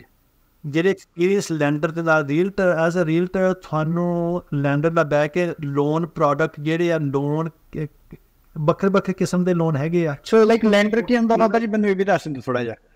ਲੈਂਡਰ ਹੁੰਦਾ ਬੈਂਕ ਕਹਿ ਲਓ। ਬੈਂਕ ਗਿਆ ਸੋ ਜਿੰਨਾ ਤੋਂ ਆਪਾਂ ਕਰਜ਼ਾ ਲੈਣਾ ਕਰਜ਼ਾ ਲੈ ਹਾਂਜੀ। ਤੋਂ ਜਿਹਨੇ ਪੈਸਾ ਤੁਹਾਨੂੰ ਦੋ ਹਾਂਜੀ। ਲੋਨ ਆਫ ਲੋਨ ਆਫਿਸਰ ਕਹਿੰਦੇ ਉਹਨਾਂ ਤੋਂ ਅਹ, ਉਹਨਾਂ ਨੂੰ ਸਾਰੇ ਕੱਲੇ ਬੈਂਕ ਕੋ ਜਾਓ ਉਹਨਾਂ ਕੋ ਹਰ ਤਰ੍ਹਾਂ ਦਾ ਲੋਨ ਨਹੀਂ ਹੁੰਦਾ। ਜਿਹੜਾ ਮੋਰਗੇਜ ਬ੍ਰੋਕਰ ਆ ਕਹਿ ਲਓ ਜਿਨ੍ਹਾਂ ਦੇ ਤਰ੍ਹਾਂ ਤਰ੍ਹਾਂ ਦੇ ਉਹਨਾਂ ਨੇ ਲੋਨ ਪ੍ਰੋਡਕਟਸ ਉਹਨਾਂ ਕੋ ਹੈਗੇ ਆ। ਓਕੇ ਸੋ ਉਹ ਬਹੁਤ ਜ਼ਰੂਰੀ ਹੈ ਰੀਅਲਟਰ ਨੂੰ ਪਤਾ ਹੋਵੇ ਨਾ ਕਿੱਦਾਂ ਦੇ ਲੋਨ ਟੁੱਕਦੇ ਆ ਹਰ ਬੰਦੇ ਦੇ। ਓਕੇ ਤਾਂ ਫਿਰ ਉਹ ਸਹੀ ਲੈਂਡਰ ਉਹਨਾਂ ਕੋ ਨਾਲ ਲੋਨ ਆਫਸਰ ਵੀ ਹੋਣ ਕਿ ਜਿਹੜਾ ਉਹਨਾਂ ਨੂੰ ਆਪਣੇ ਬਾਇਰ ਨੂੰ ਐਜੂਕੇਟ ਵੀ ਕਰਨ ਕਿ ਤੇ ਅਸੀਂ ਦੇਖਣਾ ਬਾਇਰ ਨੂੰ ਫਾਇਦਾ ਕਿੱਦਾਂ ਹੋਵੇ। ਹਾਂਜੀ ਹਾਂਜੀ। ਕਿਉਂਕਿ ਐਜ਼ ਅ ਰੀਅਲਟਰ ਆਪਣਾ ਆਪਣਾ ਕੰਮ ਤਾਂ ਇਹੀ ਬਣਦਾ ਵਾ ਵੀ ਆਪਾਂ ਆਪਣੇ ਕਲਾਇੰਟ ਨੂੰ ਪ੍ਰੋਟੈਕਟ ਕਰਕੇ ਚੱਲੀਏ। ਸੋ ਪਹਿਲਾਂ ਸਭ- ਪਹਿਲਾਂ ਐਜੂਕੇਸ਼ਨ ਜਿਹੜੀ ਹੈਗੀ ਆ ਉਹ ਹੀ ਦੇਖੀ ਜਾਵੇ ਵੀ ਮਾਰਗੇਜ ਦਾ ਕਿੱਦਾਂ ਵਰਕਆਊਟ ਹੋਣਾ ਸਾਰਿਆਂ ਨੂੰ ਪਹਿਲਾਂ। ਯਾ ਇਹ ਨਹੀਂ ਹੈਗਾ ਗਲਤ ਲੈਂਡਰ ਕੋ ਫਸਾ ਦੋ ਉਹ ਐਂਡ ਤੇ ਰੇਟ ਚੱਕ ਦੇਣ ਜਾਂ ਆ ਕਰ ਦੇਣ ਕੋ ਹੋਵੇ। ਜਿੱਦਾਂ ਕਹਿੰਦੇ ਇਮਾਨਦਾਰ ਬੰਦੇ ਚਾਹੀਦੇ ਆ। ਇਮਾਨਦਾਰ ਬੰਦੇ ਅਹ ਇਮਾਨਦਾਰ ਬੰਦੇ ਬਹੁਤ ਜ਼ਰੂਰੀ ਇਸ ਬਿਜ਼ਨਸ ਚਾਹੀਦੇ ਆ। ਪ੍ਰੋਫੈਸ਼ਨਲ ਇਮਾਨਦਾਰ ਜਿਨ੍ਹਾਂ ਦੇ ਆਪਣੇ ਕਲਾਇੰਟ ਨੂੰ ਪਹਿਲ ਰੱਖਣ ਉਹਨਾਂ ਦੀ। ਉਹਨਾਂ ਦਾ ਭਲਾ ਸੋਚ। ਨਹੀਂ ਤਾਂ ਹੁੰਦਾ ਜੀ ਮੈਂ ਮੈਂ ਤੁਹਾਨੂੰ ਐਗਜ਼ਾਮਪਲ ਦਿੰਦਾ ਵਾ। ਹੁਣੀ ਹੋਇਆ ਕਲਾਇੰਟ ਦੇ ਨਾਲ ਮੈਨੂੰ ਕਾਫੀ ਜਦੋਂ ਹਾਈ ਇੰਟਰਸਟਡ ਗਏ ਆ ਨਾ ਕਈਆਂ ਨੇ ਕਲੋਜ਼ਿੰਗਸ ਪ੍ਰੀ ਅਪਰੂਵਲ ਸਾਰਾ ਕੁਝ ਲਿਆ ਹੋਇਆ ਵਾ ਐਂਡ ਦੈਨ ਕੈਨ ਨੂੰ ਪ੍ਰੀ ਅਪਰੂਵਲ ਚ ਹੋਈਆਂ ਹੁਣ ਕਲਾਇੰਟ ਨੂੰ ਤਾਂ ਪਤਾ ਨਹੀਂ ਪ੍ਰੀ ਅਪਰੂਵਲ ਕੀ ਹੁੰਦਾ ਵਾ। ਤੇ ਆਫਰ ਪਵਾਤੀ ਆ ਸਾਰੀ ਉਹ ਤੋਂ ਬਾਅਦ ਜਦੋਂ ਮਾਰਗੇਜ ਦਾ ਰੀਅਲ ਹੁਣ ਨਹੀਂ ਚੱਕ ਰਿਹਾ ਲਾਈਕ ਕੰਮ ਖਤਮ। ਤੇ ਹੁਣ ਕਲਾਇੰਟਸ ਮੈਨੂੰ ਕਲਾਇੰਟਸ ਮੈਂ ਉਹਨਾਂ ਦੇ ਕਲਾਇੰਟਸ ਮੈਨੂੰ ਫੋਨ ਕਰਕੇ ਕਹਿੰਦੇ ਹੋ ਭਾਜੀ ਅਸੀਂ ਫਸ ਗਏ ਸਾਡਾ ਰੀਅਲਟਰ ਫੋਨ ਨਹੀਂ ਚੱਕਦਾ ਅਸੀਂ ਕੀ ਕਰੀਏ ਤਾਂ ਸੋ ਉਹ ਉਹ ਉਦਾਂ ਦੀਆਂ ਚੀਜ਼ਾਂ ਬਹੁਤ ਆਉਂਦੀਆਂ ਐਂਡ ਇਹ ਚੀਜ਼ ਮੈਂ ਮੈਜੋਰਿਟੀਜ਼ ਦੇਖਦਾ ਆਪਣੀ ਕਮਿਊਨਿਟੀ ਦੇ ਵਿੱਚ ਆਪਣੀ ਕਮਿਊਨਿਟੀ ਵਾਲੇ ਹੀ ਇੱਕ ਦੂਜੇ ਦਾ ਗਾਲਾਂ ਵੱਢਣ ਲੱਗੇ ਹੋਏ। ਤੇ ਇਹ ਹੁਣ ਪਤਾ ਨਹੀਂ ਕਿ ਲਾਲਚ ਬੁਰੀ ਬਲਾ ਹੈ। ਇਹਦਾ ਇਹ ਜਿਹੜਾ ਇਹ ਲਾਲਚ ਜਿਹੜਾ ਨਾ ਦੇਖੋ ਹੁਣ 2 ਟਕੇ ਬਚਾਉਣ ਦੇ ਖਾਤਰ ਜਾਂ ਬੰਦਾ ਲਾਲਚ ਚਾਰ ਜੌਬਾਂ ਕਰਨੀਆਂ ਤਾਂ ਇਧਰ ਰੀਅਲ ਏਸਟੇਟ ਵੀ ਕਰਦਾ ਇਧਰ ਮੈਂ ਨੋਟਰੀ ਵੀ ਆ ਇਧਰ ਮੈਂ ਦੁਕਾਨ ਵੀ ਚਲਾ ਰਿਹਾ। ਇੱਕ ਪਾਸੇ ਧਿਆਨ ਦੇਣਾ ਚਾਹੀਦਾ ਬੰਦੇ ਨੂੰ ਥੋੜਾ ਫੋਕਸ ਫੋਕਸ ਹੋ ਕੇ ਯਾਰ ਬਿਲਕੁਲ ਬਿਲਕੁਲ। ਔਰ ਆਪਣੇ ਦਾਇਰੇ ਚ ਰਹਿਣਾ ਚਾਹੀਦਾ ਬੰਦੇ ਨੂੰ। ਬਿਲਕੁਲ ਜੀ ਮੈਜੋਰਿਟੀ ਮੈਜੋਰਿਟੀ ਦੇ ਵਿੱਚ ਜੇ ਆਪਾਂ ਲਾਈਕ ਮੈਂ ਆਪਣੀ ਸਾਈਡ ਦੀ ਗੱਲ ਕਰਾਂ ਜੀਟੀਏ ਦੀ ਮੈਜੋਰਿਟੀ ਦੇ 90% ਜਿਹੜੇ ਰੀਅਲਟਰਸ ਹੈਗੇ ਪਾਰਟ ਟਾਈਮ ਆ। ਤੇ ਜਦੋਂ ਦਾ ਕੰਮ 90% ਸੋ ਜਦੋਂ ਜਦੋਂ ਦਾ ਕੰਮ ਸਲੋ ਹੋ ਜਾਂਦਾ ਵਾ ਉਹਨਾਂ ਨੇ ਉਬਰ ਜਾਂ ਟਰੱਕ ਤੇ ਚੜ ਜਾਣਾ ਨਾ। ਤੇ ਜਦੋਂ ਮਾਰਕੀਟ ਤੇਜ਼ ਹੋਣ ਦੀ ਇੰਟਰਸਟ ਡਾਊਨ ਜਾਂ ਮਾਰਕੀਟ ਤੇਜ਼ ਹੋਣ ਲੱਗ ਜਾਣੀ ਆ ਉਦੋਂ ਇਹਨਾਂ ਨੇ ਇੱਧਰ ਆ ਕੇ ਡੀਲਾਂ ਕਰਨ ਲੱਗ ਜਾਣੀਆਂ ਹੁਣ ਉਹ ਉਹ ਜਿਹੜੇ ਬੰਦੇ ਹੈਗੇ ਨੇ ਉਹ ਉਹਨਾਂ ਦੇ ਵਿੱਚ ਟਰਬਲ ਕੀ ਆਉਂਦੀ ਹੈ ਕਿਉਂਕਿ ਉਹ ਮਾਰਕੀਟ ਐਜੂਕੇਟਡ ਨਹੀਂ ਹੈਗੇ। ਹੁਣ ਜੇ ਮੈਂ ਆਪਣੀ ਬ੍ਰੋਕਰੇਜ ਦੀ ਗੱਲ ਕਰਾਂ ਹਰੇਕ ਮਹੀਨੇ ਸਾਡੀ ਮੀਟਿੰਗ ਹੁੰਦੀ ਹੈ ਮੰਥਲੀ ਮੀਟਿੰਗ ਹੁੰਦੀ ਹੈ ਉਹਦੇ ਵਿੱਚ ਸਟੈਟਸ ਦੱਸਦੇ ਆ ਵੀ ਆਹ ਵਾਲੀ ਮਾਰਕੀਟ 'ਚ ਇਹ ਚੱਲ ਰਿਹਾ, ਆਪਾਂ ਫੋਕਸਡ 'ਚ ਲੈ ਕੇ ਚੱਲਦੇ ਆ ਹਨ? ਸੋ ਲਾਈਕ ਉਹਦੇ ਵਿੱਚ ਨੌਲੇਜ ਮਿਲਦੀ, ਪਰ ਜੇ ਉਹ ਬੰਦੇ ਨੌਲੇਜ ਲੈ ਹੀ ਨਹੀਂ ਰਹੇ ਹੈਗੇ ਤੇ ਉਹ ਬੰਦਿਆਂ ਨੇ ਅੱਗੇ ਜਾਣਾ ਨਾ ਡੀਲਸ ਕਰਾਉਣ ਜਦ ਫਿਰ ਉਹਦੇ ਵਿੱਚ ਟਰਬਲ ਆਉਂਦੀ ਆ। ਐਂਡ ਉਹ ਤੋਂ ਬਾਅਦ ਅੱਗੇ ਜੇ ਦੇਖੀਏ ਹੁਣ ਅੱਗੇ ਸਾਈਕੋਲੋਜੀਕਲੀ ਦੇਖੀਏ, ਕਾਫੀ ਬੰਦੇ ਇਦਾਂ ਦੇ ਹੈਗੇ ਨੇ ਜਿਹੜੇ ਲਾਈਕ ਕੈਸ਼ਬੈਕ ਭਾਲਦੇ ਵੀ ਠੀਕ ਆ, ਸਾਡੇ ਰੀਅਲਟਰ ਨੇ 2% ਲੈਣਾ 1% ਸਾਨੂੰ ਦੇ ਦੇਣਾ ਨਾ। ਤੇ ਸਾਡਾ ਪੈਸਾ ਬਚ ਜਾਣਾ ਪਰ ਉਹ ਇਹ ਚੀਜ਼ ਨਹੀਂ ਦੇਖਦੇ ਹੈਗੇ ਵੀ ਕੀ ਉਹ ਨੈਗੋਸ਼ੀਏਟ ਵੀ ਕਰੂਗਾ। ਕਿੱਦਾਂ ਦੀ ਕਲੋਜ਼ਿੰਗ ਕਾਸਟ ਤੁਹਾਨੂੰ ਪੈ ਜਾਣੀ ਆ ਕਿਉਂਕਿ ਜੇ ਪ੍ਰਾਈਵੇਟ ਤੋਂ ਫੰਡਸ ਲੈਣੇ ਪੈਣ ਪੈਂਦੇ ਨੇ ਤਾਂ ਤੁਹਾਨੂੰ ਮੋਟਾ ਟਿੱਗਾ ਲੱਗਦਾ ਵਾ। ਨੰਬਰ 1 ਚੀਜ਼ ਮੈਂ ਇਹ ਐਗਜ਼ਾਮਪਲ ਦਿੰਦਾ ਹੁੰਦਾ ਸਾਡੇ ਜਿਹੜੇ ਰੀਅਲ ਏਸਟੇਟ ਦੇ ਹੈਗੇ ਆ ਰੀਅਲਟਰ ਹੂੰ। ਦੇਖੋ ਜੇ ਹੁਣ ਤੁਹਾਡੀ ਦਿਲ ਦੀ ਪ੍ਰੋਬਲਮ ਆਵੇ ਤਾਂ ਆਪਾਂ ਕਾਰਡੀਓਲੋਜਿਸਟ ਡਾਕਟਰ ਕੋ ਦਿਲ ਦੇ ਡਾਕਟਰ ਕੋ ਜਾਣਾ। ਬਿਲਕੁਲ ਸਹੀ ਗੱਲ ਹੈ ਅਸੀਂ ਸਭ ਤੋਂ ਸਸਤਾ ਡਾਕਟਰ ਲੱਭਣਾ। ਅਸੀਂ ਸਭ ਤੋਂ ਘਟੀਆ ਡਾਕਟਰ ਲੱਭਣਾ ਜਾਂ ਜਿਹੜਾ ਪਾਰਟ ਟਾਈਮ ਡਾਕਟਰ ਆ ਕਿਹੜਾ ਉੱਚ ਕੋਟੀ ਦਾ ਲੱਭੀ ਅਸੀਂ। ਮੇਕ ਸੈਂਸ ਅਸੀਂ ਤਾਂ ਚੰਗਾ ਲੱਭਣਾ ਕਿ ਸਾਡੇ ਦਿਲ ਦੀ ਗੱਲ। ਜਲਦੀ ਗੱਲ ਆ। ਫਿਰ ਦੇਖੋ ਹੁਣ ਪਤਾ ਜਿਹੜਾ ਹੁਣ ਤੁਸੀਂ ਗਲਤ ਰੀਅਲਟਰ ਤੇ ਵੀ ਤੁਸੀਂ ਵਸ ਪੈ ਜਾਓ ਜਾਂ ਮੋਰਗੇਜ ਵਾਲੇ ਤੇ ਵੀ ਵਸ ਪੈ ਜਾਓ ਉਹ ਵੀ ਬੜਾ ਨੁਕਸਾਨ ਪਹੁੰਚਾ ਸਕਦੇ। ਬਿਲਕੁਲ ਜੀ ਸਹੀ ਗੱਲ ਹੈ ਇਹ ਹੁੰਦਾ। ਸੋ ਸੋ ਇਹ ਜੇ ਪਤਾ ਵੀ ਹੈ ਸਾਡੇ ਬੰਦਿਆਂ ਨੂੰ ਤਾਂ ਕਈ ਵਾਰੀ ਲਾਲਚ ਕਰ ਜਾਂਦੇ ਆ। ਇਹ ਨਹੀਂ ਕੱਲੇ ਆਪਣੇ ਕੌਮ ਆ ਸਾਰੇ ਕੌਮਾਂ 'ਚ ਹੈਗਾ ਹਾਂਜੀ ਹਾਂਜੀ। ਪਰ ਜਿਹੜਾ ਲਾਲਚ ਕਰਨਾ ਲਾਲਚ ਨਾ ਕਰਨ ਦੇ ਨਾਲ ਘਾਟਾ ਹੀ ਪੈਂਦਾ। ਬਿਲਕੁਲ ਰੀਅਲਟਰ ਵਧੀਆ ਲੱਭੋ ਜਿਹਦੀ ਰੈਪਿਊਟੇਸ਼ਨ ਵੀ ਹੋਵੇ ਚੰਗੀ। ਹੂੰ। ਇਹ ਲੋਕ ਰਿਵਿਊ ਹੋਣ ਦੇਖੋ ਚੰਗੀ ਤਰ੍ਹਾਂ ਦੇਖੋ। ਹੁਣ ਜੇ ਅਸੀਂ ਬੱਚਾ ਜਦੋਂ ਪਾਲਦੇ ਆ ਅਸੀਂ ਭੇਜਣਾ ਸਕੂਲ ਅਸੀਂ ਦੇਖਦੇ ਸਕੂਲ ਕਿੱਦਾਂ ਦਾ ਹੈ। ਬਿਲਕੁਲ ਸਕੂਲ ਦੇਖਦੇ ਹਾਂ ਜੀ ਬਿਲਕੁਲ ਦੇਖਦੇ ਹਾਂ। ਬਿਲਕੁਲ। ਅਸੀਂ ਫਿਰ ਦੋ ਟਕੇ ਵਾਸਤੇ ਅਸੀਂ ਕਿਉਂ ਆਪਣਾ ਨੁਕਸਾਨ ਆਪ ਹੀ ਕਰ ਰਹੇ ਹਾਂ? ਵਧੀਆ ਰੀਅਲਟਰ ਲੱਭੋ ਵਧੀਆ ਮੋਰਗੇਜ ਵਾਲੇ ਲੱਭੋ ਇਨਸਪੈਕਸ਼ਨ ਕਰਨ ਵਾਲੇ ਜਿਹੜਾ ਚੰਗਾ ਰੀਅਲਟਰ ਉਹਨੇ ਥੋੜਾ ਚੰਗਾ ਲੈਂਡਰ ਮੋਰਗੇਜ ਵਾਲੇ ਨਾਲ ਗੱਲ ਕਰਾਉਣੀ ਆ ਇਨਸਪੈਕਟਰ ਵੀ ਚੰਗੇ ਹੋਊਗੇ। ਤਾਂ ਜਿੱਦਾਂ ਤੁਹਾਨੂੰ ਦੱਸਿਆ ਪ੍ਰੋਸੈਸ ਚੱਲਣੀ ਆ ਇਹ ਘਰ ਲੈਣ ਦੀ ਖਰਚੇ ਕਿੰਨੇ ਕੁ ਹੋਣੇ ਤਕਰੀਬਨ ਉਹੀ ਰਹੂਗਾ। ਇਹ ਨਹੀਂ ਐਂਡ ਤੇ ਆ ਕੇ ਆ ਹੋ ਗਿਆ ਉਹ ਹੋ ਗਿਆ ਉਹ ਸੌਰੀ ਹੁਣ ਹੋਰ ਪੈਸੇ ਲਿਆਓ। ਇਦਾਂ ਨਹੀਂ ਹੁੰਦਾ ਹੈਗਾ ਹਾਂਜੀ। ਆਪਣਾ ਇਹਦੇ ਵਿੱਚ ਮੈਂ ਤੁਹਾਨੂੰ ਇੱਕ ਦੱਸਦਾ, ਮੇਰੀ ਹੁਣੀ ਕਲੋਜ਼ਿੰਗ ਹੋਈ ਆ, ਹਨਾ? 28 28 ਤਰੀਕ ਨੂੰ। ਉਹਦੇ ਵਿੱਚ ਜਿਹੜਾ ਮੇਰਾ ਕਲਾਇੰਟ ਸੀ, ਉਹ ਮੇਰਾ ਫਰਸਟ ਕਲਾਇੰਟ ਸੀਗਾ। ਉਹ ਲਾਈਕ ਮੈਨੂੰ ਦੇਖ ਕੇ ਆਇਆ ਵੀ ਹਾਂ, ਠੀਕ ਆ ਸੈਂਕਾ ਹਨਾ? ਮੇਰੀ ਹੈਲਪ ਕਰੂਗਾ, ਵਧੀਆ ਗਾਈਡ ਕਰੂਗਾ। ਤੇ ਚਲੋ ਗਾਈਡ ਕੀਤਾ ਸਾਰਾ ਕੁਝ ਐਂਡ ਦੈਨ ਜਦੋਂ ਕਲੋਜ਼ਿੰਗ ਤੋਂ ਇੱਕ ਦਿਨ ਪਹਿਲਾਂ ਮੈਂ ਉਹਨੂੰ ਕਿਹਾ, ਮੈਂ ਵੀ ਇਨਸਟਰਕਸ਼ਨਸ ਆ ਗਈਆਂ ਨੇ, ਆਪਾਂ ਅੱਜ ਕਲੋਜ਼ ਕਰਾ ਲਈਏ, ਇੱਕ ਦਿਨ ਪਹਿਲਾਂ, ਹਨਾ? ਇਸ ਲਾਈਕ ਨਹੀਂ ਭਾਜੀ, ਜਿਹੜੇ ਦਿਨ ਦਾ ਹੈਗਾ ਵਾ, ਉਹੀ ਦਿਨ ਦੇ ਕਲੋਜ਼ ਕਰਾਉਣਾ। ਹੁਣ ਉਹ ਰੀਜ਼ਨ ਮਾਈਂਡਸੈਟ ਕੀ ਸੀਗਾ? ਪਿੱਛੇ ਜਿਹੜੇ ਉਹਨਾਂ ਦੇ ਫਰੈਂਡਸ ਸੀਗੇ ਜਿਹੜਾ ਇਨਫਲੂਐਂਸ ਸਰਕਲ ਸੀਗਾ ਉਹ ਕਹਿ ਰਿਹਾ ਸੀਗਾ ਵੀ ਕਦੇ ਵੀ ਕੋਈ ਨਾ ਕੋਈ ਪ੍ਰੋਬਲਮ ਆ ਸਕਦੀ ਤੇ ਰੀਅਲਟਰ ਤੇ ਪੰਗਾ ਪਾਉਣਾ ਹੀ ਪਾਉਣਾ ਵਾ ਤੈਨੂੰ ਦੱਸਦਾ ਨਹੀਂ ਹੈਗਾ। ਤੇ and he was so world ਇਸ ਤੇ ਉਹ ਐਂਡ ਪੁਆਇੰਟ ਤੇ ਆ ਕੇ ਮੇਰੇ ਨਾਲ ਇਸ ਹਿਸਾਬ ਨਾਲ ਹੋ ਗਿਆ ਸੀਗਾ ਵੀ ਲਾਈਕ ਕੁਝ ਦੱਸਦਾ ਨਹੀਂਗਾ ਇਹ ਲੁਕੋ ਰਿਹਾ ਪੰਗਾ ਪੈਣਾ ਮੈਂ ਦੱਸਦਾ ਕਿਉਂ ਨਹੀਂ ਹੈਗਾ। And he was about to fight with me ਹੈ ਨਾ ਵੀ ਭਾਜੀ like he was so aggressive ਤੇ ਉਹ ਤੋਂ ਬਾਅਦ ਜਦੋਂ ਉਹਦੀ ਕਲੋਜ਼ਿੰਗ ਹੋ ਗਈ ਦੈਨ ਰਿਲੈਕਸਡ ਹੋਇਆ ਵੀ ਯਾਰ ਪੰਗਾ ਕਿ ਪਿਆ ਹੀ ਨਹੀਂਗਾ ਕੁਝ like it was so smooth transaction ਹੈ ਤੇ ਸੋ ਆਪਾਂ ਲੈਂਡਿੰਗ ਦੀ ਗੱਲ ਕਰ ਲਈ ਆ ਰਿਐਲਟਰ ਦੀ ਵੀ ਕਰ ਲਈ ਆ ਹੋਰ ਕਿੱਦਾਂ ਕਿੱਦਾਂ ਦੀਆਂ ਚੀਜ਼ਾਂ ਦੇਖਣੀਆਂ ਆਉਂਦੀਆਂ ਨੇ ਜੀ? ਇਨਸਪੈਕਸ਼ਨ ਘਰ ਦੀ ਹੁਣ ਪਤਾ ਨਹੀਂ ਤੁਹਾਡੇ ਉੱਤੇ ਇੱਥੇ ਦਾ ਹੋਮ ਇਨਸਪੈਕਸ਼ਨ ਕਰੀਏ ਸੇਂਕ ਦੀ ਇਨਸਪੈਕਸ਼ਨ ਛੱਤ ਦੀ ਇਨਸਪੈਕਸ਼ਨ ਹਾਂਜੀ। ਇਹ ਕੰਡੀਸ਼ਨ ਤਰ੍ਹਾਂ ਤਰ੍ਹਾਂ ਦੀ ਇਨਸਪੈਕਸ਼ਨਾਂ ਵੀ ਕਰਾਉਣੀਆਂ ਹੁੰਦੀਆਂ ਨਾ ਪ੍ਰਾਪਰਟੀ ਦੀਆਂ। ਬਿਲਕੁਲ। ਐਂਡ ਐਂਡ ਉਹਦੇ ਵਿੱਚ ਆਪਾਂ ਪ੍ਰਾਈਸ ਵੀ ਨੈਗੋਸ਼ੀਏਟ ਕਰ ਸਕਦੇ ਹਾਂ ਜੇ ਲਾਈਕ ਕੁਛ ਨਾ ਕੁਛ ਆਪਾਂ ਨੂੰ ਨਿਕਲ ਆਉਂਦਾ ਵਾ ਹਨਾ। ਤੇ ਸੋ. ਇਹ ਇਹ ਆਪਾਂ ਰੀਅਲਟਰ ਦੀ ਗੱਲ ਹੋ ਗਈ। ਉਹ ਤੋਂ ਬਾਅਦ ਹੁਣ ਆਪਾਂ ਆ ਜਾਈਏ ਬਾਇੰਗ ਸਾਈਡ ਤੇ ਬਾਇਰਸ ਸੋ ਬਾਇਰਸ ਨੂੰ ਕਿੱਦਾਂ ਕਿੱਦਾਂ ਦੀਆਂ ਚੀਜ਼ਾਂ ਦੇਖਣੀਆਂ ਹੁੰਦੀਆਂ ਨੇ? ਨੰਬਰ 1 ਚੀਜ਼ ਬਾਇਰ ਨੂੰ ਮੈਂ ਕਹੂੰਗਾ ਜੇ ਖੁਆਸ਼ ਹੈ ਨਾ ਘਰ ਲੈਣ ਦਾ। ਹਾਂਜੀ। ਵਧੀਆ ਰੀਅਲਟਰ ਲੱਭੋ ਓਕੇ ਨੰਬਰ 1 ਚੀਜ਼। ਦੇਖੋ ਹੁਣ ਜਦੋਂ ਅਸੀਂ ਗੱਡੀ ਖਰੀਦਦੇ ਅਸੀਂ ਰਿਵਿਊ ਪੜ੍ਹਦੇ ਆ ਨਾ ਅਸੀਂ ਰਿਵਿਊ ਪੜ੍ਹਦੇ ਅਸੀਂ ਦੇਖਦੇ ਇਹਦਾ ਰੈਪਿਊਟੇਸ਼ਨ ਦੇਖੋ ਹੁਣ ਹੋਂਡਾ ਆ ਟੋਇਟਾ ਜਾਂ ਮਰਸੀਡੀ ਆ ਅਸੀਂ ਸਾਰੇ ਹੁਣ ਜੇ ਹੁਣ ਰਸ਼ਾ ਦੀ ਬਣੀ ਹੋਈ ਗੱਡੀ ਉਹ ਕਿੰਨੇ ਖਰੀਦਦੇ ਆ? ਰੈਪਿਊਟੇਸ਼ਨ ਵੀ ਦੇਖੋ ਕਿਹੜੀ ਚੀਜ਼ ਕੁਆਲਿਟੀ ਹੂੰ। ਇਹ ਥਿੰਗ ਉਹ ਤੋਂ ਸ਼ੁਰੂ ਹੋਣਾ ਤੁਹਾਡਾ ਗੁੱਡ ਰੀਅਲਟਰ ਲੱਭਣਾ। ਹੂੰ। ਜਿਹੜਾ ਫੁੱਲ ਫੁੱਲ ਟਾਈਮ ਹੋਵੇ ਤਾਂ ਸਭ ਤੋਂ ਵਧੀਆ। ਫੁੱਲ ਟਾਈਮ ਬਿਜ਼ਨਸ ਕਰ ਰਹੇ ਆ ਤਾਂ ਉਹਦੀ ਰੈਪਿਊਟੇਸ਼ਨ ਵੀ ਹੋਵੇ ਬਾਈ ਰਿਫਰਲ ਵੀ ਮਿਲ ਜਾਵੇ ਤਾਂ ਹੋਰ ਵਧੀਆ ਹੈਗਾ। ਹੂੰ ਜਾਣਕਾਰੀ ਦੇ ਵਿੱਚ ਹਾਂਜੀ।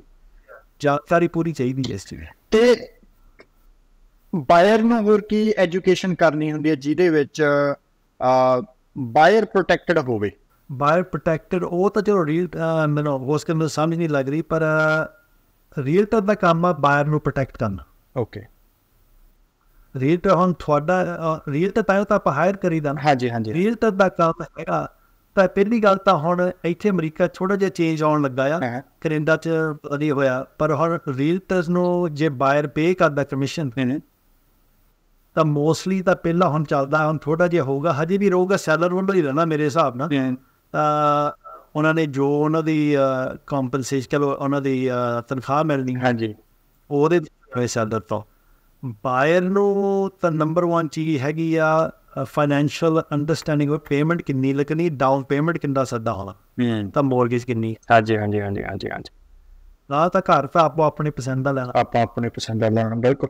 ਸੋ ਆਪਾਂ ਆਪਣੀ ਚਾਦਰ ਚਾਦਰ ਦੇਖ ਕੇ ਬਿਲਕੁਲ ਚਾਦਰ ਦੇਖ ਕੇ ਤੁਸੀਂ ਆਪਣਾ ਕੋਈ ਵੀ ਲਵੋ। ਸੋ ਇਹਦੇ ਵਿੱਚ ਥੋੜਾ ਜਿਹਾ ਆਪਾਂ ਹੁਣ ਫਾਈਨੈਂਸ਼ੀਅਲ ਲਿਟਰੇਸੀ ਵੱਲ ਆ ਜਾਈਏ ਵੀ ਲੋਕ ਕਿੱਦਾਂ ਦੀਆਂ ਮਿਸਟੇਕਸ ਕਰਦੇ ਆ ਤੇ ਕਿੱਦਾਂ ਉਹ ਆਪਣੇ ਆਪ ਨੂੰ ਐਜੂਕੇਟ ਕਰ ਸਕਦੇ ਆ ਕਿੱਦਾਂ ਕੀ ਮਨੀ ਸੇਵ ਕਰਨੀ ਚਾਹੀਦੀ ਆ ਤੇ ਕਿੱਦਾਂ ਦੀ ਮਨੀ ਸੇਵ ਕਰਨੀ ਚਾਹੀਦੀ ਕਦੋਂ ਤੱਕ ਕਰਨੀ ਚਾਹੀਦੀ ਕਿੱਦਾਂ ਦੇ ਐਸੈਟਸ ਦੇ ਵਿੱਚ ਆਪਾਂ ਨੂੰ ਇਨਵੈਸਟ ਕਰਨਾ ਚਾਹੀਦਾ ਵਾ।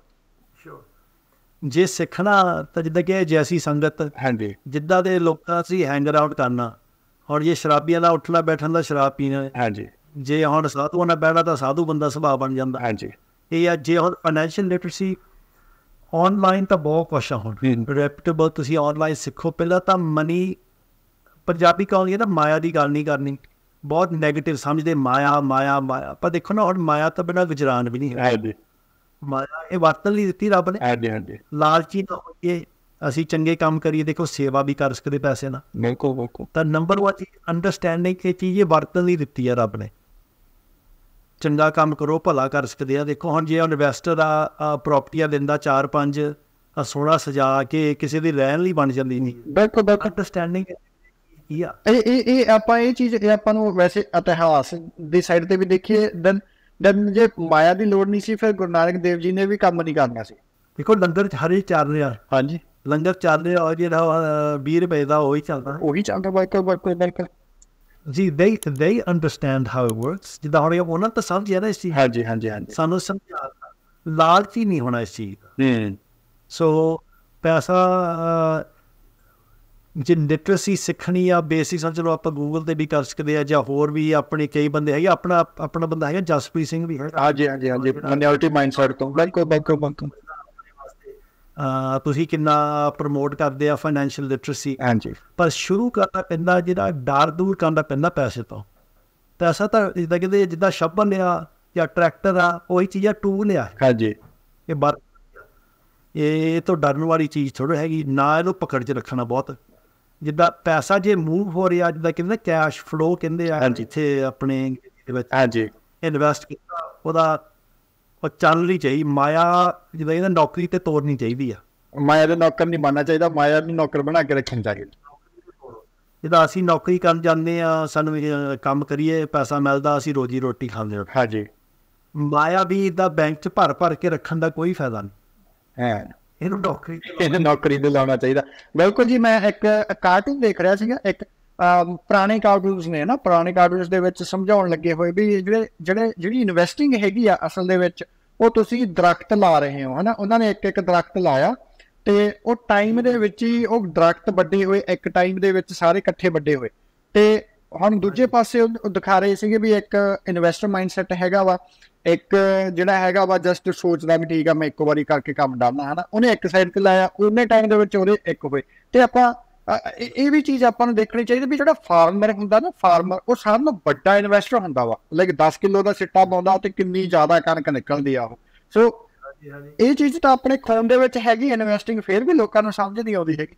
ਮੈਂ ਐਗਜ਼ਾਮਪਲ ਤੁਹਾਨੂੰ ਸਿੰਪਲ ਜਿਹਾ ਦੇ ਦਿੰਦਾ। ਹਾਂਜੀ।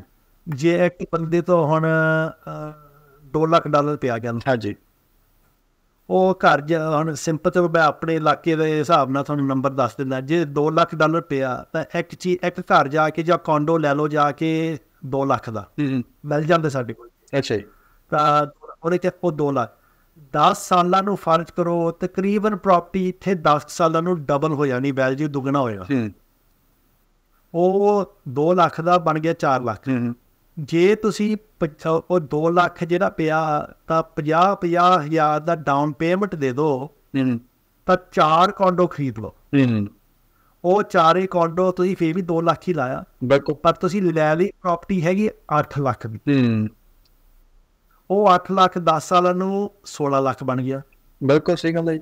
ਹੁਣ ਤੁਹਾਡਾ 8 ਲੱਖ ਇੱਥੇ ਬਣਿਆ ਇੱਧਰ 2 ਲੱਖ ਬਣਿਆ। ਇੱਧਰ 2 ਲੱਖ ਬਣਿਆ। ਬਿਲਕੁਲ ਹਾਂ ਸਹੀ ਗੱਲ। ਟਾਈਮ ਦੇ ਵਿੱਚ ਜਿੰਨੇ ਜ਼ਿਆਦਾ ਆਪਾਂ ਬੀਜ ਲਾ ਲਈਏ ਉਸ ਹਿਸਾਬ ਨਾਲ ਉਹ ਗਰੋ ਕਰ ਜਾਂਦੇ ਆ।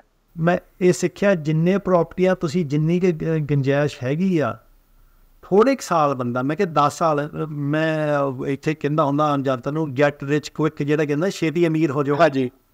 ਲੱਗਦਾ 10 ਸਾਲ ਦਾ ਪਲਾਨ ਆ ਮੇਰਾ। ਹੂੰ। 10 ਸਾਲ ਲੱਗਣਾ ਹੀ ਲੱਗਣਾ ਕੁਝ ਤਰੱਕੀ ਕਰਨ ਨੂੰ। ਜੇ ਅੱਜ ਇੱਕ ਘਰ ਲੈ ਲਿਆ ਅਗਲੇ ਸਾਲ ਇੱਕ ਹੋਰ ਲੈ ਲਓ ਤੀਜੇ ਸਾਲ ਇੱਕ ਹੋਰ ਲੈ ਲਓ ਜੇ ਤੁਸੀਂ ਲਈ ਜਾਓਗੇ ਗਾਰੰਟੀਡ ਆ ਸਕਸੈਸ ਜੀ ਇਹ ਇਹ ਇਹਦੇ ਵਿੱਚ ਸਕਸੈਸਫੁਲ ਕਿੱਦਾਂ ਬਣਿਆ ਜਾਵੇ? ਪਹਿਲਾਂ ਤਾਂ ਇਹ ਵੀ ਨਾਲ ਦੱਸੋ ਹੁਣ ਚਲੋ ਆਪਾਂ ਉਧਰਲੀ ਸਾਈਡ ਆ ਗਏ ਆ। ਅਸਲ ਦੇ ਵਿੱਚ ਸਕਸੈਸ ਹੈਗੀ ਕੀ ਆ ਤੇ ਕੀ ਪੈਸਾ ਹੀ ਸਕਸੈਸ ਆ? ਦੂਜਾ ਲੈਟਸ ਸੇ ਜੇ ਪੈਸਾ ਸਕਸੈਸ ਹੈਗਾ ਵਾ ਦੈਨ ਪੈਸਾ ਅਸਲ 'ਚ ਬਣਾਇਆ ਕਿੱਦਾਂ ਜਾਵੇ? ਕਿਉਂਕਿ ਲੋਕਾਂ ਕੋਲ ਜਿਹੜੇ ਪੈਸੇ ਹੈਗੇ ਨੇ ਉਹ like ਜਿਹੜੇ ਜੌਬਸ ਕਰਦੇ ਨੇ ਉਹਨਾਂ ਕੋਲ ਕੋਈ ਜ਼ਿਆਦਾ ਪੈਸਾ ਨਹੀਂ ਹੁੰਦਾ। ਸੋ ਕਿੱਦਾਂ ਆਪਾਂ ਉਹਨੂੰ ਬਣਾ ਸਕਦੇ ਉਹ ਇਹ ਤਾਂ ਹੁਣ ਤਾਂ ਬਹੁਤ ਡੰਗਿਆਈ ਵਾਲੀ ਗੱਲ ਕਰਤੀ ਸਕਸੈਸ ਕੀ ਚੀਜ਼ ਹਾਂ ਹਾਂਜੀ। ਸਕਸੈਸ ਤਾਂ ਹੁਣ ਇਹ ਤਰੱਕੀ ਹੋ ਗਈ ਬੰਦੇ ਦੀ ਜਾਂ ਕਾਮਯਾਬ ਹੋ ਗਿਆ ਬੰਦਾ। ਹਰ ਬੰਦੇ ਦੀ ਵੱਖਰੀ ਵੱਖਰੀ ਚੀਜ਼ ਆ ਨਾ ਇਹ।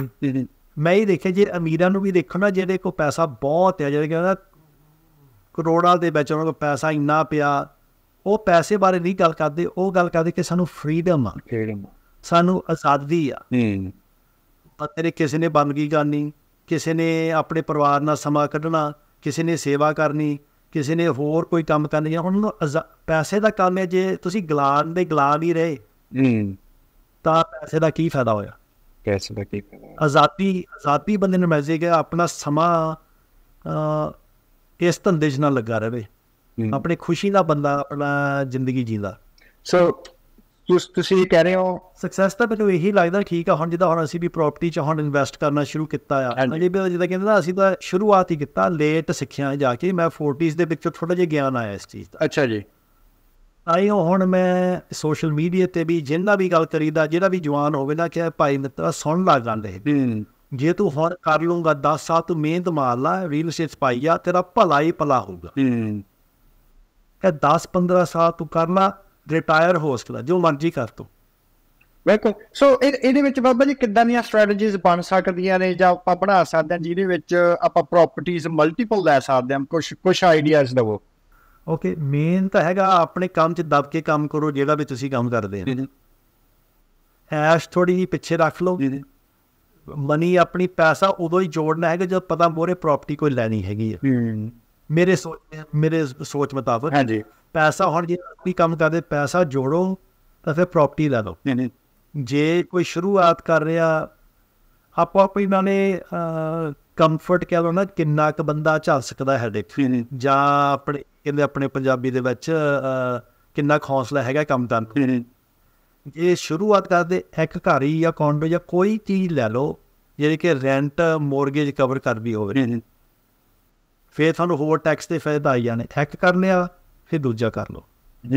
ਸਿੰਪਲ ਇਦਾਂ ਅਸੀਂ ਵੀ ਇਦਾਂ ਸ਼ੁਰੂ ਕੀਤਾ ਫਿਰ ਜਿੱਦਾਂ ਹੁਣ ਕਈ ਇਨਵੈਸਟਰ ਹੈਗੇ ਐਂਡ ਗ੍ਰੈਂਡ ਕਾਰਡੋਨ ਜਿਹੜਾ ਬੰਦੇ ਹੈਗੇ ਅਦਾ ਕਿਤੇ ਉਹ ਤਾਂ ਕਹਿੰਦੇ ਨਹੀਂ ਨਹੀਂ ਨਹੀਂ ਇੱਕ ਨਹੀਂ ਲੈਣਾ ਦੋ ਨਹੀਂ ਲੈਣਾ ਉਹ ਕਹਿੰਦਾ ਤੁਸੀਂ 15 20 ਲਓ ਕੰਠ ਕਹਿੰਦੇ ਨੇ ਵੀ ਇਕੱਠੇ ਲਓ ਹਾਂਜੀ। ਪਰ ਹਰ ਬੰਦਾ ਸਟਾਰਟਿੰਗ ਲਈ ਇੰਨੀ ਨਹੀਂ ਹੁੰਦੀ ਆ। ਜਿਹੜੇ ਤੇ ਹੈਗੀ ਜ਼ਰੂਰ ਇਹ ਪਤਾ ਨਾ ਤੁਸੀਂ ਪ੍ਰਾਪਰਟੀ ਬਣਾਉਣੀ ਆ। ਵੱਧ ਤੋਂ ਵੱਧ ਯੂਨਿਟ ਲਓ ਪਹਿਲੀ ਵਾਰੀ ਇੱਕ ਸਮੇਂ ਚ ਲੈ ਲਓ।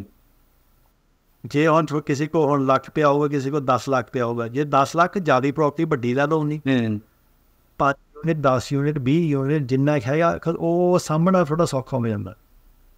ਨਹੀਂ ਤੇ ਸਹੀ ਗੱਲ ਬਿਲਕੁਲ ਸਹੀ ਗੱਲ ਆ ਜੀ।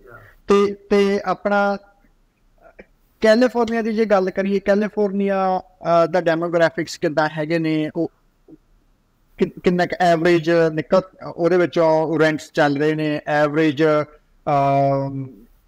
ਹਾਊਸਿੰਗ ਕਿੱਦਾਂ ਦੀ ਹੈਗੀ ਆ ਉੱਥੇ ਕਿੱਦਾਂ ਦੀ ਹਾਊਸਿੰਗ 'ਚ ਇਨਵੈਸਟ ਕਰਨਾ ਚਾਹੀਦਾ ਵਾ? ਜੇ ਇਨਵੈਸਟਰ ਹੁਣ ਜੇ ਹੁਣ ਕੈਨੇਡਾ ਦੇ ਇਨਵੈਸਟਰ ਹੋਣ? ਲੈਟਸ ਸੇ ਹਾਂਜੀ। ਜੇ ਜੇ ਕਿਸੇ ਨੇ ਸਿੰਡੀਕੇਸ਼ਨ ਕਰਕੇ ਇਕੱਠੀ ਕਰਨੀ ਹੋਵੇ। ਉਹ ਸਿੰਡੀਕੇਸ਼ਨ ਜੇ ਇੰਡੀਵਿਜੂਅਲ ਵੀ ਸਿੰਡੀਕੇਸ਼ਨ ਆਪਣੇ ਯੂ نو ਜੇਬ ਦੇ ਹਿਸਾਬ ਨਾਲ ਤਾਂ ਮਲਟੀ ਫੈਮਿਲੀ ਹਾਂਜੀ। ਮਲਟੀ ਫੈਮਿਲੀ ਜਿੱਥੇ ਕਿ ਅਪਾਰਟਮੈਂਟ ਕਹ ਲਓ 2 3 4 8 10 ਜਿੰਨੇ ਵੱਧ ਤੋਂ ਜਿੰਨੀ ਪਹੁੰਚ ਆ ਉਹਦੇ ਵਿੱਚ ਕਰਨਾ ਚਾਹੀਦਾ ਕਿ ਸਾਡੀ ਹਾਊਸਿੰਗ ਸਪਲਾਈ ਬਹੁਤ ਘੱਟ ਆ। ਰੈਂਟਸ ਕਾਫੀ ਉੱਪਰ ਗਏ ਆ। ਓਕੇ ਰਿਟਰਨ ਜੇ ਕੈਸ਼ ਔਨ ਕੈਸ਼ ਜਿਹੜਾ ਕਹਿੰਦੇ ਜੇ ਫਰਜ਼ ਕਰੋ ਤੁਸੀਂ ਹੁਣ ਕੈਸ਼ ਪ੍ਰਾਪਰਟੀ ਲਈ ਆ ਅ, 10 ਲੱਖ ਦੀ। ਮਿਲੀਅਨ ਡਾਲਰ ਦੀ ਪ੍ਰਾਪਰਟੀ ਲਈ। ਪਹਿਲਾਂ ਤਾਂ ਸਾਡੇ ਇਲਾਕੇ 'ਚ ਤਾਂ 10% ਤਕਰੀਬਨ ਤੁਹਾਨੂੰ ਵਾਪਸ ਆ ਰਿਹਾ ਸੀ ਹਰ ਸਾਲ। ਕੈਸ਼ ਔਨ ਕੈਸ਼ ਪਰ ਕੈਸ਼ ਔਨ ਕੈਸ਼ ਜਿਹੜਾ ਚਲੋ ਸੋ 10% ਉਹ ਵਧੀਆ ਪ੍ਰਾਪਰਟੀ ਹੈ ਇਦਾਂ ਚਲੋ ਫਿਰ ਕੈਸ਼ ਫਲੋ ਸੋਹਣਾ ਹੋ ਰਿਹਾ। ਪਰ ਜਦ ਦੇ ਇੱਥੇ ਅਫੋਰਡੇਬਲ ਏਰੀਆ 'ਚ ਹੁਣ ਬੇ ਏਰੀਆ ਸੈਨ ਫਰਾਂਸਿਸਕੋ ਵਾਲੇ ਜਾਂ ਐਲਏ ਵਾਲੇ ਉਹ ਇੱਥੇ ਇਨਵੈਸਟ ਕਰਨ ਲੱਗ ਪਏ ਸਾਡਾ ਰਿਟਰਨ 6% ਕਹਿ ਲਓ ਐਵਰੇਜ 5 ਤੋਂ 7 8 ਕਈ ਵਾਰੀ ਚੰਗਾ ਮਿਲ ਜਾਂਦਾ ਪਰ 5-7% ਦੇ ਵਿੱਚ ਵਿੱਚ ਹੁੰਦਾ। Okay so that means prices ਜ਼ਿਆਦਾ ਉੱਪਰ ਜਾਣ ਲੱਗ ਗਿਆ ਹੁਣ ਉੱਥੇ। ਜਾਂ ਪ੍ਰਾਈਸਸ ਜਾਂ ਲਾਪੀਆਂ ਪਰ ਹੁਣ ਜਿਹੜੀ ਪ੍ਰਾਪਰਟੀ ਜੇ ਲਾਪੇ ਜਿਹੜੇ ਕਿ ਰੈਂਟ ਥੋੜਾ ਜਿਹਾ ਲੋ ਆ ਉਹ ਰੈਂਟ ਵਧਾਉਣ ਦੇ ਨਾਲ ਹੀ ਤੁਹਾਡੀ ਕੈਸ਼ ਤੁਹਾਡੀ ਕੈਸ਼ ਫਲੋ ਵੱਧ ਜਾਣੀ ਆ ਤਾਂ ਵੈਲਿਊ ਜਿਹੜਾ ਪ੍ਰਾਪਰਟੀ ਲੈ ਰਹੀ ਉਹਦਾ ਵੀ ਵੈਲਿਊਏਸ਼ਨ ਹਾਈ ਹੋ ਜਾਣਾ। ਥੋੜੀ ਐਕੁਇਟੀ ਜ਼ਿਆਦਾ ਬਣ ਜਾਂਦੀ ਆ। ਐਕੁਇਟੀ ਕਾਫੀ ਫ਼ਰਕ ਪੈਂਦਾ। ਕਾਫੀ ਫ਼ਰਕ। ਜੇ ਹੁਣ ਫ਼ਰਕ 10 ਅਪਾਰਟਮੈਂਟ ਹੋਣ 1000 ਡਾਲਰ ਰੈਂਟ ਆ ਤਾਂ ਮਿਲੀਅਨ ਦੀ ਵਰਥ ਜੇ ਹੁਣ ਰੈਂਟ ਹੌਲੀ ਹੌਲੀ ਚੜਾਤਾ ਤੁਸੀਂ 1500 ਤੇ ਇੱਕ ਕਰਤਾ ਤਾਂ ਹੁਣ ਉਹਦੀ 50% ਅਹ, ਡੇਢ ਡੇਢ ਹੋ ਗਈ ਵੈਲਿਊ ਉਹਦੀ ਕੀਮਤ ਜਿੱਥੇ 10 ਲੱਖ ਹੁਣ 15 ਲੱਖ। 15 ਲੱਖ ਦੀ ਹੋਵੇ ਤੁਸੀਂ ਨਾ ਕੋਈ ਪ੍ਰਾਪਰਟੀ ਇੰਪਰੂਵਮੈਂਟ ਕੀਤੀ ਨਾ ਕੋਈ ਹੋਰ ਲੋਨ ਲਿਆ ਕੁਝ ਨਹੀਂ ਕੀਤਾ। ਪਰ ਤੁਹਾਡੀ ਥੋੜੀ ਐਕੁਇਟੀ ਜਿਹੜੇ ਕਹ ਲਓ 5 ਲੱਖ ਵੱਧ ਗਈ। ਨਹੀਂ ਸਹੀ ਹੈ ਸਹੀ ਹੈ ਸਹੀ ਹੈ ਹੋਰ ਹੋਰ ਕੁਝ ਤੁਸੀਂ ਇਹਦੇ ਵਿੱਚ ਐਡ ਕਰਨਾ ਚਾਹੁੰਦੇ ਜਿਹੜਾ ਦੱਸਣਾ ਚਾਹੀਦਾ ਵਾ ਜਿਹੜਾ ਆਪਾਂ ਤੋਂ ਸਕਿਪ ਹੋ ਗਿਆ ਹੋਵੇ? ਮੇਨ ਥਿੰਗ ਹੈਗਾ ਕਿ ਗਲਤ ਕੀਤੀ ਐਕਸ਼ਨ ਲੈਣਾ। ਕਰ ਲੋ ਬਸ। ਜਿੱਦਾਂ ਕਹਿੰਦੇ ਜੇ ਹੁਣ ਫੇਲ ਕਰਨਾ ਆ ਬੰਦੇ ਨਾ ਮੋਹ ਨੂੰ ਡਿੱਗ ਕੇ ਕਰੋ। ਘਾਟਾ ਦੇਖੋ ਘਾਟਾ ਸਾਨੂੰ ਵੀ ਮੈਨੂੰ ਵੀ ਸਾਰਿਆਂ ਨੂੰ ਘਾਟਾ ਪੈਂਦਾ ਕੰਮ ਕਰਨਾ ਜੇ ਰਿਸਕ ਬੰਦੇ ਨੇ ਕਦੇ ਬੈਠੇ ਬੈਠੇ ਲਾਈਫ ਗੁਜ਼ਾਰਤੀ ਦਾ ਕੋਈ ਕੀਤਾ ਹੀ ਨਹੀਂ ਕੰਮ। ਤਾਂ ਘਾਟਾ ਹੀ ਖਾਣਾ। ਘੱਟ ਹੈ ਰਿਸਕ ਲੈਣ ਦਾ ਮੋਹ ਨੂੰ ਬੰਦਾ ਡਿੱਗਦਾ ਤਾਂ ਗਾਹ ਤਾਂ ਚਲੋ ਦੋ ਲਾਂਗਾ ਮੋਹ ਨੂੰ ਹੀ ਡਿੱਗਦਾ। ਬਿਲਕੁਲ ਜੀ ਇਹ ਚੀਜ਼ ਮੈਂ ਵੀ ਨੋਟ ਕੀਤੀ ਹੈ ਮੈਂ ਸੋਚ ਰਿਹਾ ਸੀ। ਆ ਇਹ ਵੀ ਲਾਈਕ ਜੇ ਲਾਈਫ 'ਚ ਕੁਝ ਕਰਨਾ ਹੀ ਨਹੀਂਗਾ ਕੋਈ ਰਿਸਕ ਟੇਕਿੰਗ ਨਹੀਂ ਹੈਗੀ ਕੁਝ ਕੀਤਾ ਹੀ ਨਹੀਂ। ਇਦਾਂ ਕਿੱਦਾਂ ਦੀ ਤੁਸੀਂ ਆਪਣੀ ਲਾਈਫ ਦੀ ਕਿਤਾਬ ਲਿਖ ਰਹੇ ਹੋ ਤੇ ਕੀ ਉਹ ਲਾਈਫ ਦੀ ਕਿਤਾਬ ਕੋਈ ਹੋਰ ਬੰਦਾ ਜਿਹੜਾ ਖੋਲੂਗਾ ਉਹਨੂੰ ਕੀ ਉਹ ਪੜ੍ਹਨਾ ਚਾਹੂਗਾ ਜਾਂ ਜਸਟ ਜਦੋਂ ਆਪਾਂ ਟਿਕਟੌਕ ਤੇ ਸਵਾਈਪ ਕਰਦੇ ਆ ਵੀ ਸਵਾਈਪ ਹੀ ਕਰੂਗਾ? ਹੋ ਜਾ ਬੋਰਿੰਗ ਬੋਰਿੰਗ ਕਿ ਇਹਦਾ ਕੋਈ ਹੈ ਹੀ ਨਹੀਂ ਕੁਛ ਪੜ੍ਹਨ ਵਾਲੀ ਗੱਲ ਨਹੀਂ। ਮੈਂ ਨਾਲ ਕਰ ਲੈਂਦੇ ਜਾਂ ਨਾਲੇ ਬੰਦੇ ਦੀ ਮੋਟੀਵੇਸ਼ਨ ਕੀ ਆ? ਹਾਂਜੀ। ਕਿਉਂ ਬੰਦਾ ਮਾਰੇ? ਕਿਉਂ ਪ੍ਰਾਪਰਟੀਆਂ ਬਣਾਉਣਾ ਚਾਹੁੰਦਾ? ਪੈਸਾ ਇਹ ਨਹੀਂ ਹੈਗਾ ਪੈਸਾ ਇਕੱਠਾ ਕਰੋ ਬਸ ਉਹਦੇ ਪੈਸਾ ਇਕੱਠਾ ਕਰਨ ਲਈ। ਜੀ ਵਾਈ ਜਿਹਦਾ ਕਹਿੰਦੇ ਕਾਰਨ ਕੀ ਆ ਕਿਉਂ ਕਰ ਰਿਹਾ ਬੰਦਾ? ਬਿਲਕੁਲ ਸਹੀ ਗੱਲ ਆ ਇਹ ਹਰ ਬੰਦੇ ਦੀ ਡਿਫਰੈਂਟ ਹੋਗੀ ਇਹ ਨਹੀਂ ਹੈਗਾ ਹੁਣ ਗਵਾਂਢੀ ਕੋ 10 ਲੱਖ ਆ ਮੈਂ ਵੀ 10 ਲੱਖ ਇਕੱਠਾ ਕਰਾਂ। ਹਾਂ। ਲਾਲਚ ਉਹ ਤਾਂ ਲਾਲਚ ਆਪਣੀ ਪੰਜਾਬੀ ਕਮਿਊਨਿਟੀ ਹੁੰਦਾ ਨਾ ਬਹੁਤ ਇਦਾਂ ਇਹਦੇ ਕੋ ਆ ਮੈਂ ਵੀ ਕਰਾਂ। ਮੈਂ ਵੀ ਕਰਾਂ। ਪਰ ਕਿਉਂ ਕਰ ਰਿਹਾ ਬੰਦਾ? ਬਿਲਕੁਲ। ਕੋਈ ਹੋਵੇ ਨਹੀਂ ਮਤਲਬ ਕਿਉਂ ਕਰ ਰਿਹਾ ਕਿਉਂ ਕਮਾ ਰਿਹਾ? ਆਪਣੇ ਬੰਦੇ ਆਪਣੀ ਕਮਿਊਨਿਟੀ ਇਹ ਬਹੁਤ ਹੁੰਦਾ ਸੀ ਬੱਚਿਆਂ ਲਈ ਕਮਾ ਰਹੇ। ਜੀ। ਮੇਰਾ ਖਿਆਲ ਹੈ ਝੂਠ ਜੀ। ਹੁਣ ਦੇਖੋ ਹੁਣ ਅਸੀਂ ਆਪਣੇ ਬੱਚਿਆਂ ਲਈ ਕਮਾ ਰਹੇ ਆ। ਬੱਚੇ ਤਾਂ ਕਹਿੰਦੇ ਸਾਡਾ ਸਮਾਂ ਥੋੜਾ ਜਿਹਾ ਕੱਢੋ। ਸਾਡੇ ਵਾਸਤੇ। ਹਾਂਜੀ ਬਿਲਕੁਲ ਸਹੀ ਗੱਲ ਆ। ਕਦੇ ਇਹੀ ਦਾ ਮੈਂ ਦੂਜੇ ਤੋਂ ਟੋਨੀ ਰੋਬਿਨਸ ਜਿਹੜਾ ਹੈਗਾ ਹਾਂਜੀ ਹਾਂਜੀ ਹਾਂਜੀ। ਇਹ ਸੈਮੀਨਾਰ ਅਟੈਂਡ ਕੀਤਾ ਸੀ। ਉੱਥੇ ਵੀ ਦੇਖਣਾ ਫਾਈਨੈਂਸ਼ੀਅਲ ਲਿਟਰੇਸੀ ਜਾਂ ਲਾਈਫ ਦਾ ਥੋੜਾ ਜਿਹਾ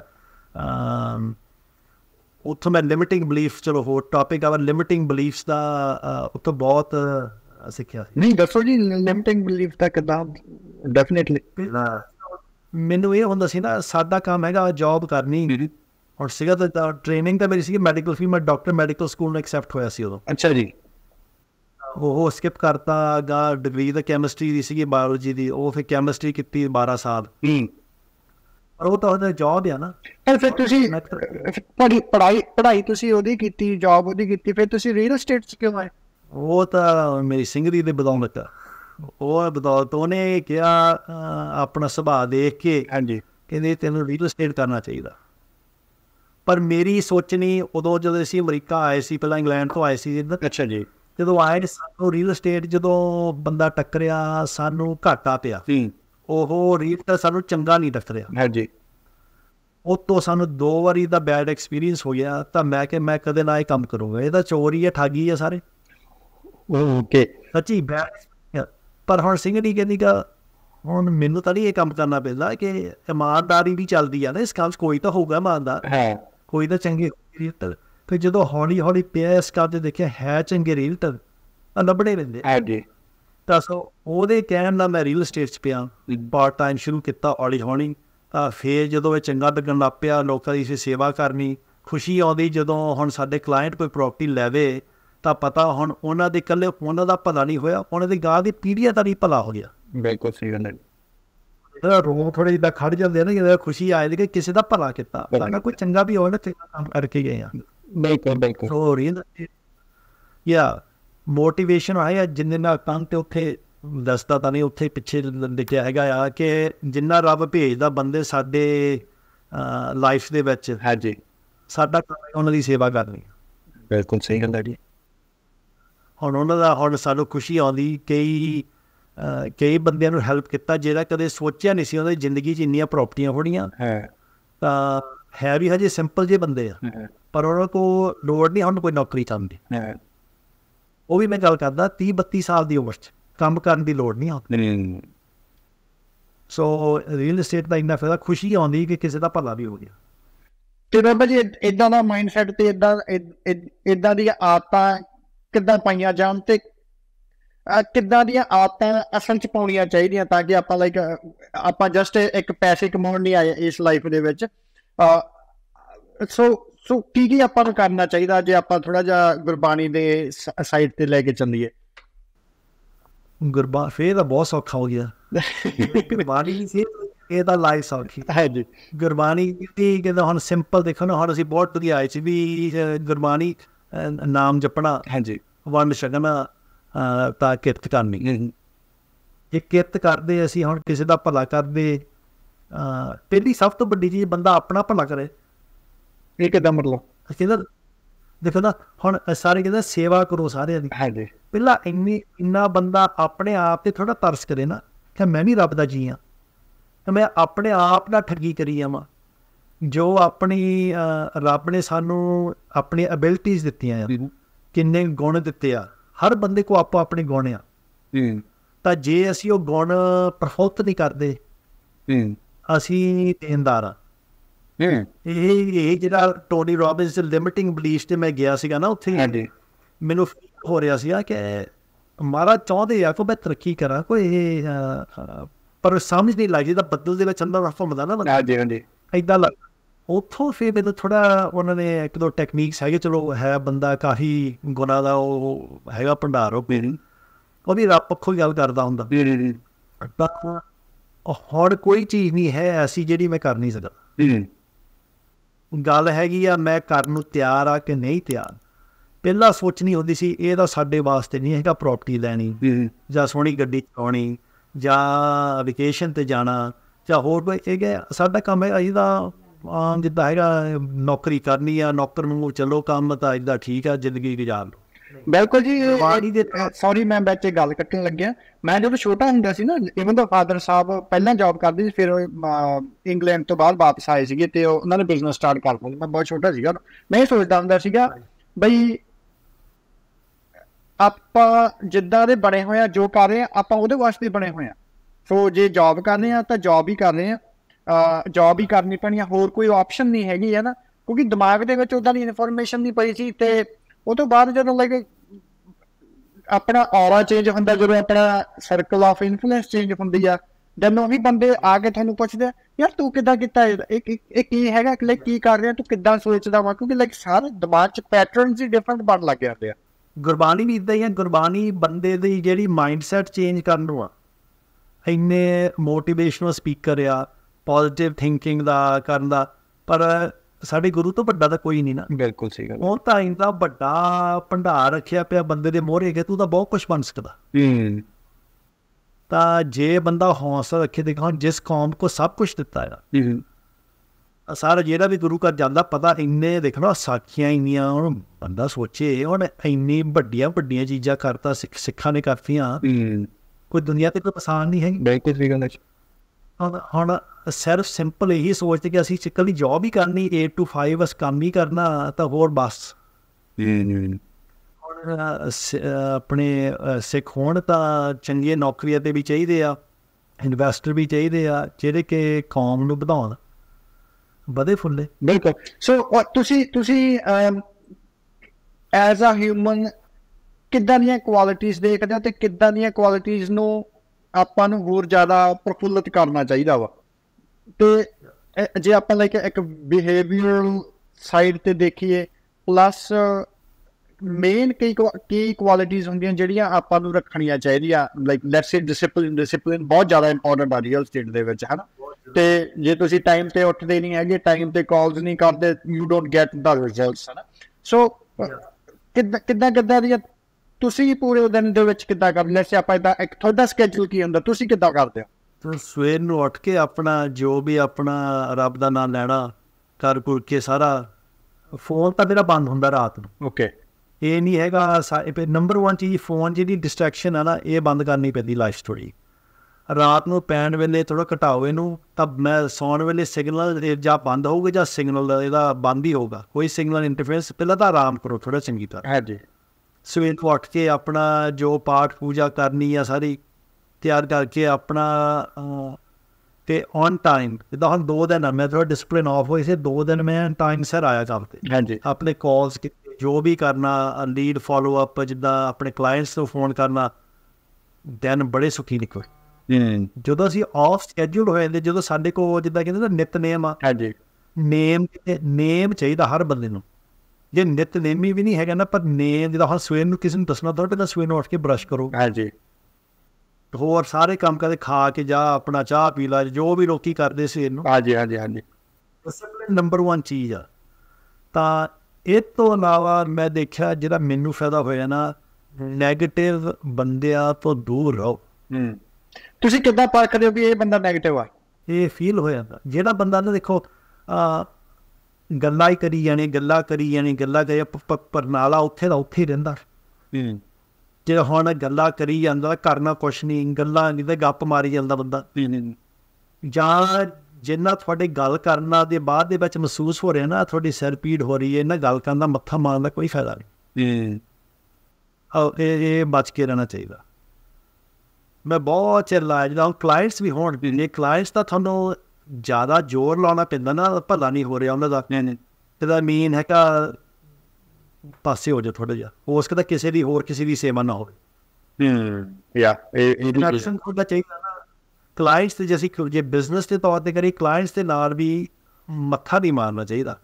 ਉਹਨਾਂ ਨੂੰ ਹੋਣਾ ਚਾਹੀਦਾ ਕਿ ਉਹ ਯੂ نو ਦਾ ਗੋਰੇ ਕਹਿੰਦੇ ਨਾ you have to be on the same page ਇਹ ਨਾ ਹੋਵੇ ਕਿ ਉਹਨਾਂ ਦੀ ਹੋਰ ਸੋਚਣੀ ਹੈ ਤੁਹਾਡੀ ਹੋਰ ਹੋਵੇ ਤਾਂ ਰੈਜ਼ਿਸਟੈਂਸ ਹੈਗੀ ਰੈਜ਼ਿਸਟੈਂਸ ਹੈਗੀ ਇਹ ਚਾਹੀਦਾ ਤਾਂ ਇੰਗਲਿਸ਼ ਕਹਿੰਦੇ ਸਿਨਰਜੀ ਚਾਹੀਦੀ ਆ। ਹੂੰ। ਇੱਧਰ ਕੋਈ ਘਰ ਲੈਣਾ ਚਾਹੁੰਦਾ ਕੋਈ ਇਨਵੈਸਟਮੈਂਟ ਪ੍ਰਾਪਰਟੀ ਲੈਣਾ ਚਾਹੁੰਦੇ ਤੁਸੀਂ ਉਤਸ਼ਾਹ ਨਾਲ ਖੁਸ਼ੀ ਦੇ ਨਾਲ ਉਹਨਾਂ ਨੂੰ ਮਦਦ ਕਰਦੇ ਆ ਦੇਖੋ ਨਾ ਤਰੱਕੀ ਹੁੰਦੀ ਛੇਤੀ। ਇਹੀ ਮੇਨ ਚੀਜ਼ਾਂ ਜਿਹਦਾ ਹੁਣ ਚਲੋ ਨਿਤਨੇਮ ਹੋ ਗਿਆ ਤੁਹਾਡਾ ਉੱਠ ਕੇ ਕੰਮ ਤੇ ਆਓ ਰੂਟੀਨ ਚਾਹੀਦਾ। ਇਹਦੇ ਫੁੱਲ ਟਾਈਮ ਤਾਂ ਹੁਣ ਰੂਟੀਨ ਦੇ ਨਾਲ ਆਪਣੇ ਆਫਿਸ ਪਹੁੰਚਣਾ ਚਾਹੀਦਾ ਫੋਨ ਕਰਨੇ ਜਾਂ ਈਮੇਲ ਸਾਰਾ ਜੋ ਵੀ ਮੇਕ ਸ਼ੋਰ ਤੁਹਾਡੇ ਕਲਾਇੰਟ ਦੀ ਫਾਈਲ ਕਹ ਲਓ ਫਾਈਲ ਉਹਨਾਂ ਦੀ ਅਗਾਹ ਵੱਧ ਰਹੀ ਅਗਾਹ ਵਧ ਰਹੀ ਆ ਨਾਲੇ ਜਿਹੜੇ ਪ੍ਰੋਬਲਮਸ ਆਉਂਦੇ ਰੀਅਲ ਏਸਟੇਟ 'ਚ ਤੁਹਾਡੇ ਕਲਾਇੰਟਸ ਦੇ ਨਹੀਂ ਪ੍ਰੋਬਲਮ ਹੈਗੀ ਉਹ ਤੁਹਾਡੇ ਪ੍ਰੋਬਲਮ ਐਜ਼ ਅ ਰੀਅਲਟਰ ਨਾ ਡੀਲ ਕਰਨਾ। ਹੂੰ ਉਹਨਾਂ ਨੂੰ ਕਲਾਇੰਟਸ ਨੂੰ ਇੰਨਾ ਮਹਿਸੂਸ ਹੋਣਾ ਚਾਹੀਦਾ ਕਿ ਕੋਈ ਸਿਰ ਪੀੜ ਨਹੀਂ ਹੋਇਆ ਅਸੀਂ ਘਰ ਵੀ ਲੈ ਲਿਆ ਜਾਂ ਹੋਰ ਪ੍ਰਾਪਰਟੀ ਖਰੀਦ ਲਈ ਇਨਵੈਸਟਮੈਂਟ ਲੈ ਲਿਆ ਤੇ ਸਾਡੇ ਲਈ ਤਾਂ ਸੌਖਾ ਬਹੁਤ ਸੌਖਾ ਵਾ ਸਾਡਾ ਰੀਲ ਤਾਂ ਸਾਡੀ ਲਾਈਫ ਸੌਖੀ ਕਰਦਾ ਸੋ ਆਪਣਾ ਜੋ ਕੰਮ ਹੈਗਾ ਉਹ ਲਾਈਫ ਸੌਖੀ ਕਰਨਾ ਵਾ ਨਾ ਕਿ ਦੁਖੀ ਕਰਨਾ ਲੋਕਾਂ ਨੂੰ ਨਾ ਨਾ ਦੁੱਖਾਂ ਲੋਕਾਂ ਨੂੰ ਦੁਖੀ ਨਹੀਂ ਕਰਦਾ ਸਾਡਾ ਤਾਂ ਹੈਗਾ ਭਲਾ ਕਰ ਪਤਾ ਕਰਨਾ ਵਾ ਉਹਨਾਂ ਦਾ ਨਾ ਇੰਨਾ ਈਜ਼ੀ ਹੋਵੇ ਜਿੱਦਾਂ ਹੁਣ ਅੱਜ ਵੀ ਕਲੋਜ਼ਿੰਗ ਆ ਸਾਡਾ ਹੋਇਆ ਹਾਂਜੀ। ਤਾਂ ਮੈਂ ਵੀਡੀਓ ਸੋਸ਼ਲ ਮੀਡੀਆ ਤੇ ਪਾਉਂਗਾ। ਉਹਨਾਂ ਨੇ ਪੁੱਛਿਆ ਮੈਂ ਕਿ ਤੁਹਾਡਾ ਐਕਸਪੀਰੀਅੰਸ ਕਿੱਦਾਂ ਰਿਹਾ? ਸਭ ਤੋਂ ਕੀ ਚੀਜ਼ ਤੁਹਾਨੂੰ ਮਹਿਸੂਸ ਹੋਈ? ਕਹਿੰਦੇ ਸਾਨੂੰ ਤਾਂ ਪਤਾ ਨਹੀਂ ਇੰਨਾ ਸੌਖਾ ਸੀ ਹੁਣ ਤਾਂ ਘਰ ਸਾਡਾ ਬੈਕਿਆ ਮੋਰੇ ਲੈ ਵੀ ਲਿਆ ਸਾਨੂੰ ਤਾਂ ਪਤਾ ਹੀ ਨਹੀਂ ਲੱਗਿਆ ਕੀ ਹੋਇਆ। ਕੀ ਹੋਇਆ ਤਾਂ? ਉਹਨਾਂ ਦਾ ਨਾਲ ਨਾਲ ਕਮਿਊਨੀਕੇਸ਼ਨ ਹੋਈ ਜਾਵੇ। ਲੇਕਿਨ ਨਾ ਹੱਥ ਫੜਨਾ ਪੈਂਦਾ। ਅਸੀਂ ਰੋਜ਼ ਕੰਮ ਕਰਦੇ। ਹਾਂਜੀ। ਉਹਨਾਂ ਨੇ ਕਦੇ ਕਦੇ ਕਰਨਾ ਬਿਲਕੁਲ ਸਹੀ ਗੱਲ। ਸਾਡਾ ਇਹਦਾ ਇਹਦਾ ਨੂੰ ਬਾਹਲਾ ਕੰਪਲਿਕੇਟਡ ਜਾਂ ਕਨਫਿਊਜ਼ਨ ਨਾ ਲਿਆਈ ਉਹਨਾਂ ਨੂੰ। ਹੂੰ। ਸਿੰਪਲ ਲਫ਼ਜ਼ ਵਰਤੇ ਉਹਨਾਂ ਨੂੰ ਸਮਝ ਲਿਆ ਤਾਂ ਉਹਨਾਂ ਨੂੰ ਇਹਦਾ ਹੱਥ ਫੜ ਕੇ ਇੱਥੋਂ ਲੈ ਕੇ ਇੱਥੇ ਪਹੁੰਚਾਉਣਾ ਸਾਡਾ ਕੰਮ। ਹੂੰ ਬਿਲਕੁਲ ਸਹੀ ਗੱਲ ਹੈ ਬਿਲਕੁਲ ਸਹੀ ਗੱਲ ਹੋਰ ਕੁਝ ਐਂਡਿੰਗ ਤੇ ਤੁਸੀਂ ਕੁਝ ਐਡ ਕਰਨਾ ਚਾਹੋ ਬਾਬਾ ਜੀ? ਤੇ ਇੰਜੋਏ ਕਰੋ ਇਹ ਕੰਮ। ਰੀਅਲ ਏਸਟੇਟ ਬਾਰੇ? ਰੀਅਲ ਸਟੇਟ ਬਾਰੇ ਵੈਸੇ ਪਰਸਨਲ ਲਾਈਫ ਡਿਵੈਲਪਮੈਂਟ ਬਾਰੇ ਕੁਝ ਵੀ? ਪਰਸਨਲ ਲਾਈਫ ਮੈਂ ਹੁਣ ਇੱਥੇ ਆ ਗਿਆ ਪਰਸਨਲ ਲਾਈਫ ਕੰਮ ਤਾਂ ਹੁਣ ਪਿਛਲੇ 10 ਸਾਲ ਤੋਂ ਦੱਬ ਕੇ ਕੀਤਾ। ਅੱਛਾ ਜੀ। ਹੁਣ ਥੋੜਾ ਜਿਹਾ ਜਦੋਂ ਕਰਨਾ ਇਨਵੈਸਟਮੈਂਟ ਗਰੋ ਹੁਣ ਚੱਲ ਰਹੀ ਗੱਡੀ। ਔਰ ਮੇਨ ਥਿੰਗ ਹੈਗਾ ਆਲੇ ਦੁਆਲੇ ਨਹੀਂ ਮੈਂ ਬੜਾ ਦੇਖਦਾ ਹੈਗਾ। ਹੂੰ। ਹੁਣ ਆ ਵੀ ਕੰਮ ਕਰ ਕਈ ਕਹਿੰਦੇ ਆ ਕੰਮ ਕਰਨਾ ਸਾਨਾ ਸਾਨਾ ਆ ਬਿਜ਼ਨਸ ਕਰਨਾ ਮੈਂ ਕਿ ਨਾ ਭਾਈ। ਸਬਰ ਜਿਹਾ ਥੋੜਾ ਹੋਣਾ ਚਾਹੀਦਾ। ਹਾਂਜੀ ਹਾਂਜੀ ਹਾਂਜੀ। ਹੁਣ ਹੈਗਾ ਇੰਜੋਏ ਕਰਿਆ ਹੁਣ ਹਾਈਕਿੰਗ ਪਿਛਲੇ ਹਫ਼ਤੇ ਗਏ ਪਹਾੜਾਂ 'ਚ ਕਰਨ ਨੂੰ ਗਾਲੇ ਵੀ ਕਰਨਾ ਹੈਗਾ ਹਾਈਕਿੰਗ ਪਹਾੜ ਤੇ ਚੜਨਾ ਹਾਂਜੀ। ਇੰਜੋਇਮੈਂਟ ਥੋੜੀ ਲਾਈਫ ਕੱਲਾ ਪੈਸਾ ਕਮਾਉਣ ਨਹੀਂ ਹੈ ਜਿੱਦਾਂ ਕਹਿੰਦਾ ਫਰੀडम ਹਾਂਜੀ। ਥੋੜਾ ਫਰੀडम ਆ। ਵੀ ਕੁਝ ਵੀ ਕਰ ਸਕਦੇ ਆ ਆਪਣੇ ਕੋਲ ਟਾਈਮ ਹੈਗਾ ਵਾ। ਕੋਈ ਲਾਇਬਿਲਿਟੀ ਨਹੀਂ ਕੁਝ ਸੋਚਣਾ ਨਹੀਂ ਪੈਂਦਾ ਕੁਝ ਕਰਨ ਵਾਸਤੇ। ਤੁਹਾਨੂੰ ਫਰੀडम ਦਿੰਦਾ ਰੱਬ ਨੇ ਤੁਹਾਨੂੰ ਫਰੀडम ਦੇ ਦਿੱਤੀ ਸੇਵਾ ਕਰੋ ਰੱਬ ਦਾ ਨਾਮ ਲਓ ਤਾਂ ਭਲਾ ਕਰੀ ਜਾਓ। ਅਸੀਂ ਆਪਣੇ ਬੱਚਿਆਂ ਨੂੰ ਵੀ ਇਹੀ ਕਹਿੰਦੇ ਆ ਹੁਣ ਉਹ ਦੋਨੋਂ ਹੀ ਨਰਸਿੰਗ ਸਕੂਲ 'ਚ ਆ। ਤੇ ਤੁਹਾਡਾ ਕੰਮ ਹੈ ਤੁਸੀਂ ਜਾ ਕੇ 10 ਸਾਲ ਕਮਾਓ। ਤਾਂ ਅੱਧਾ ਆਪਣਾ ਅੱਧਾ ਜਿਹੜਾ ਹੈਗਾ ਇਨਕਮ ਤੁਹਾਡਾ ਕੰਮ ਪੜਦਾ ਹੈਗਾ ਰੀਅਲ ਏਸਟੇਟ 'ਚ ਇਨਵੈਸਟ ਕਰੋ। ਹੂੰ ਇਹ ਨਹੀਂ 10% 20% ਹੈ 50% ਜੇ ਤੁਸੀਂ ਕਰੋਗੇ 10 ਸਾਲ ਦੇ ਵਿੱਚ ਤੁਹਾਨੂੰ 10 ਜਾਂ 15 ਸਾਲ ਤੁਹਾਨੂੰ ਰਿਟਾਇਰ ਕਰ ਦੋਗੇ 40 ਸਾਲ ਦੀ ਉਮਰ ਤੇ। ਹੂੰ ਤੁਹਾਡੀ ਆਪਣੀ ਕਮਾਈ ਤੇ ਸਿਰ ਤੇ ਨਾ ਕੇ ਮਾਪੇ ਦੇ। ਹੂੰ ਇਹੀ ਨੰਬਰ 1 ਚੀਜ਼ ਮੈਂ ਦੇਖੀ ਮਿਹਨਤ ਮਾਨ ਦਾ ਸਾਡਾ ਫਰਜ਼ ਬਣਦਾ। ਮੋਰੇ ਗਾ ਚੰਗੇ ਬੰਦੇ ਮਿਲਣ ਆ ਕਾਫੀ ਤਰੱਕੀ ਹੋ ਸਕਦੀ ਆ। ਠੀਕ ਹੈ ਬਾਬਾ ਜੀ। ਧੰਨਵਾਦ ਤੁਹਾਡਾ ਬਹੁਤ ਬਹੁਤ ਤੁਸੀਂ ਬਹੁਤ ਆਪਣਾ ਲਾਈਫ ਦਾ ਐਕਸਪੀਰੀਅੰਸ ਦੱਸਿਆ। ਪਲੱਸ ਕਾਫੀ ਕੁਝ ਸਿੱਖਣ ਨੂੰ ਮਿਲਿਆ ਤੇ ਅੱਗੇ ਵਿਊਅਰਸ ਨੂੰ ਵੀ ਸਾਰਾ ਨੂੰ ਸਿੱਖਣ ਨੂੰ ਮਿਲਗਾ ਐਂਡ ਤੁਹਾਡੇ ਟਾਈਮ ਦਾ ਬਹੁਤ ਬਹੁਤ ਧੰਨਵਾਦ ਜੀ। ਵਾਹਿਗੁਰੂ ਜੀ ਖਾਲਸਾ ਵਾਹਿਗੁਰੂ ਜੀ ਫਤਿਹ ਖਾਲਸਾ, ਵਾਹਿਗੁਰੂ ਜੀ ਕੀ ਫਤਿਹ।